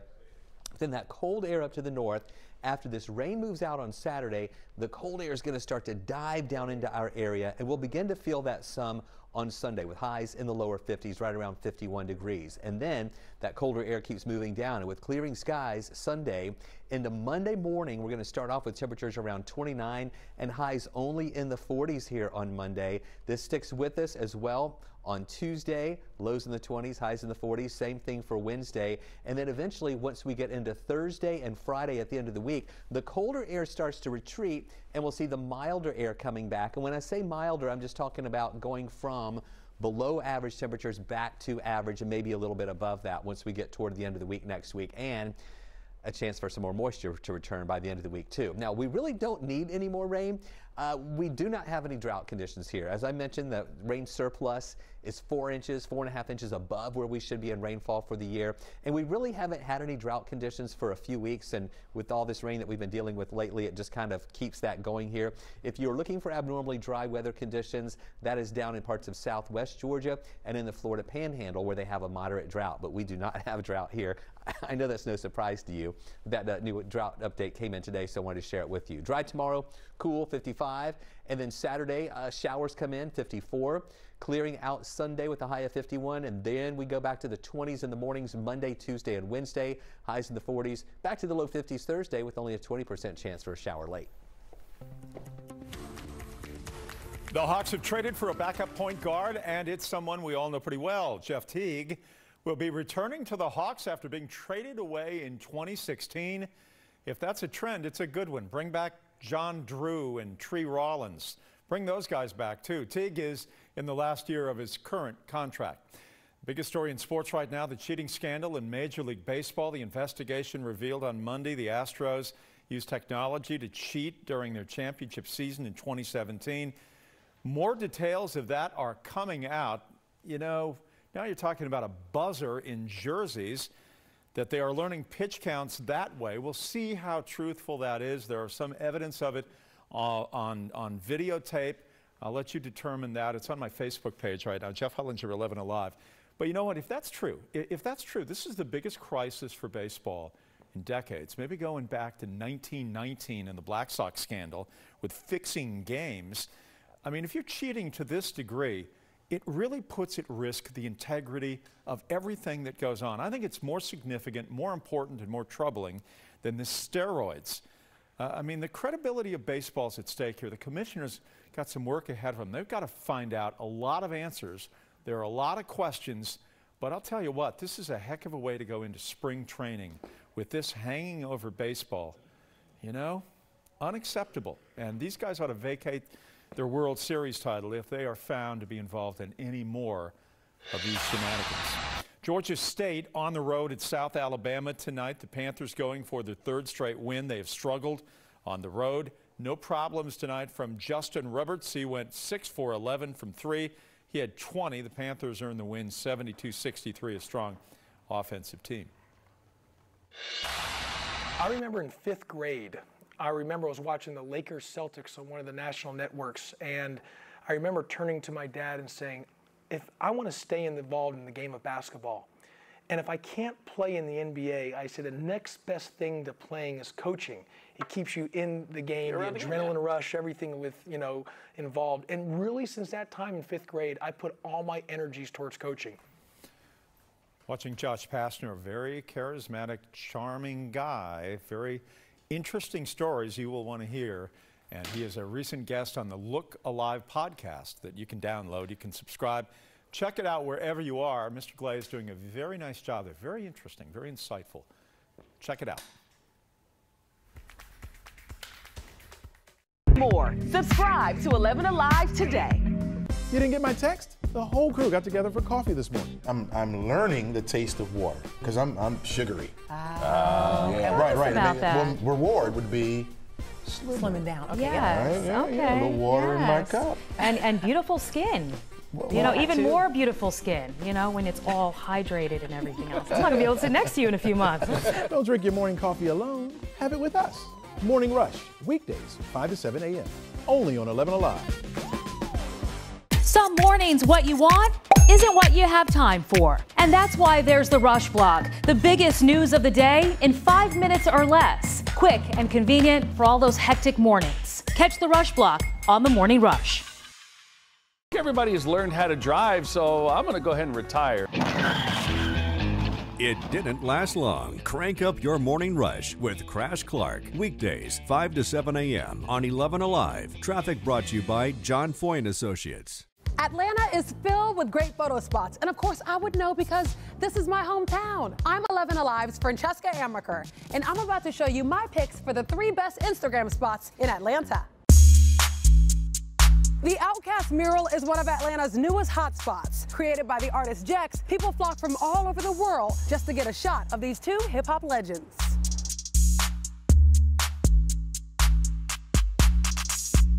News of the mural went viral when Big Boi himself gave a shout out on Instagram. You can find it tucked away in a back parking lot in Little Five Points. An Atlanta icon, ever changing, always interesting. The Krog Street Tunnel is full of artwork from some pretty eclectic Atlanta artists. Yeah, all we feel is good vibe with vibe with it. It's a good time. We don't worry about the hate. We just pass it to the side. There's graffiti, community messages, concert announcements. You really never know what you're going to get here, and that's what makes it so special. You can find it between Cabbagetown and Inman Park. If you've never checked it out, it's a must-see. There are hundreds of works of art along the Beltline. I'm talking murals, sculptures, photography. This beautiful mural was created by the artist HENSE. It's 100 feet long, and even though it was created in 2014, it still remains very popular to musicians and photographers alike.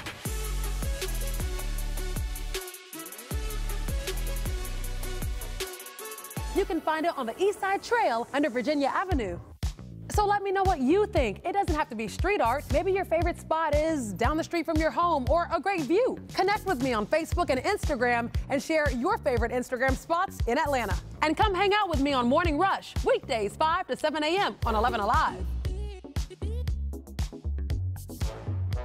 Televised newscast not enough for you? Get even more at 11 Alive's YouTube channel, where you'll find uncut interviews, extended body cam footage, live streams of Atlanta's biggest. That is it for us tonight. Thank you for watching. We appreciate it. See you tomorrow right here on the Big 36 where news is king.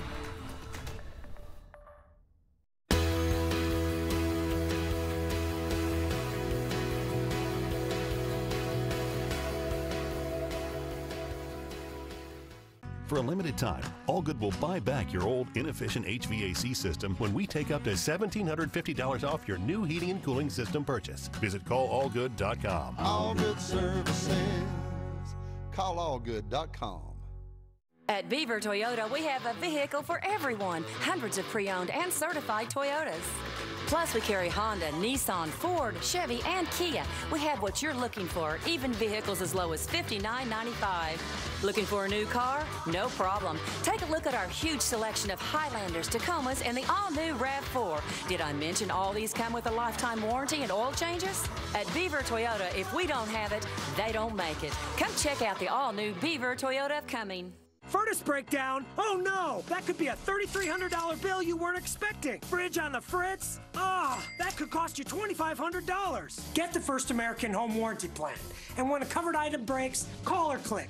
That's it.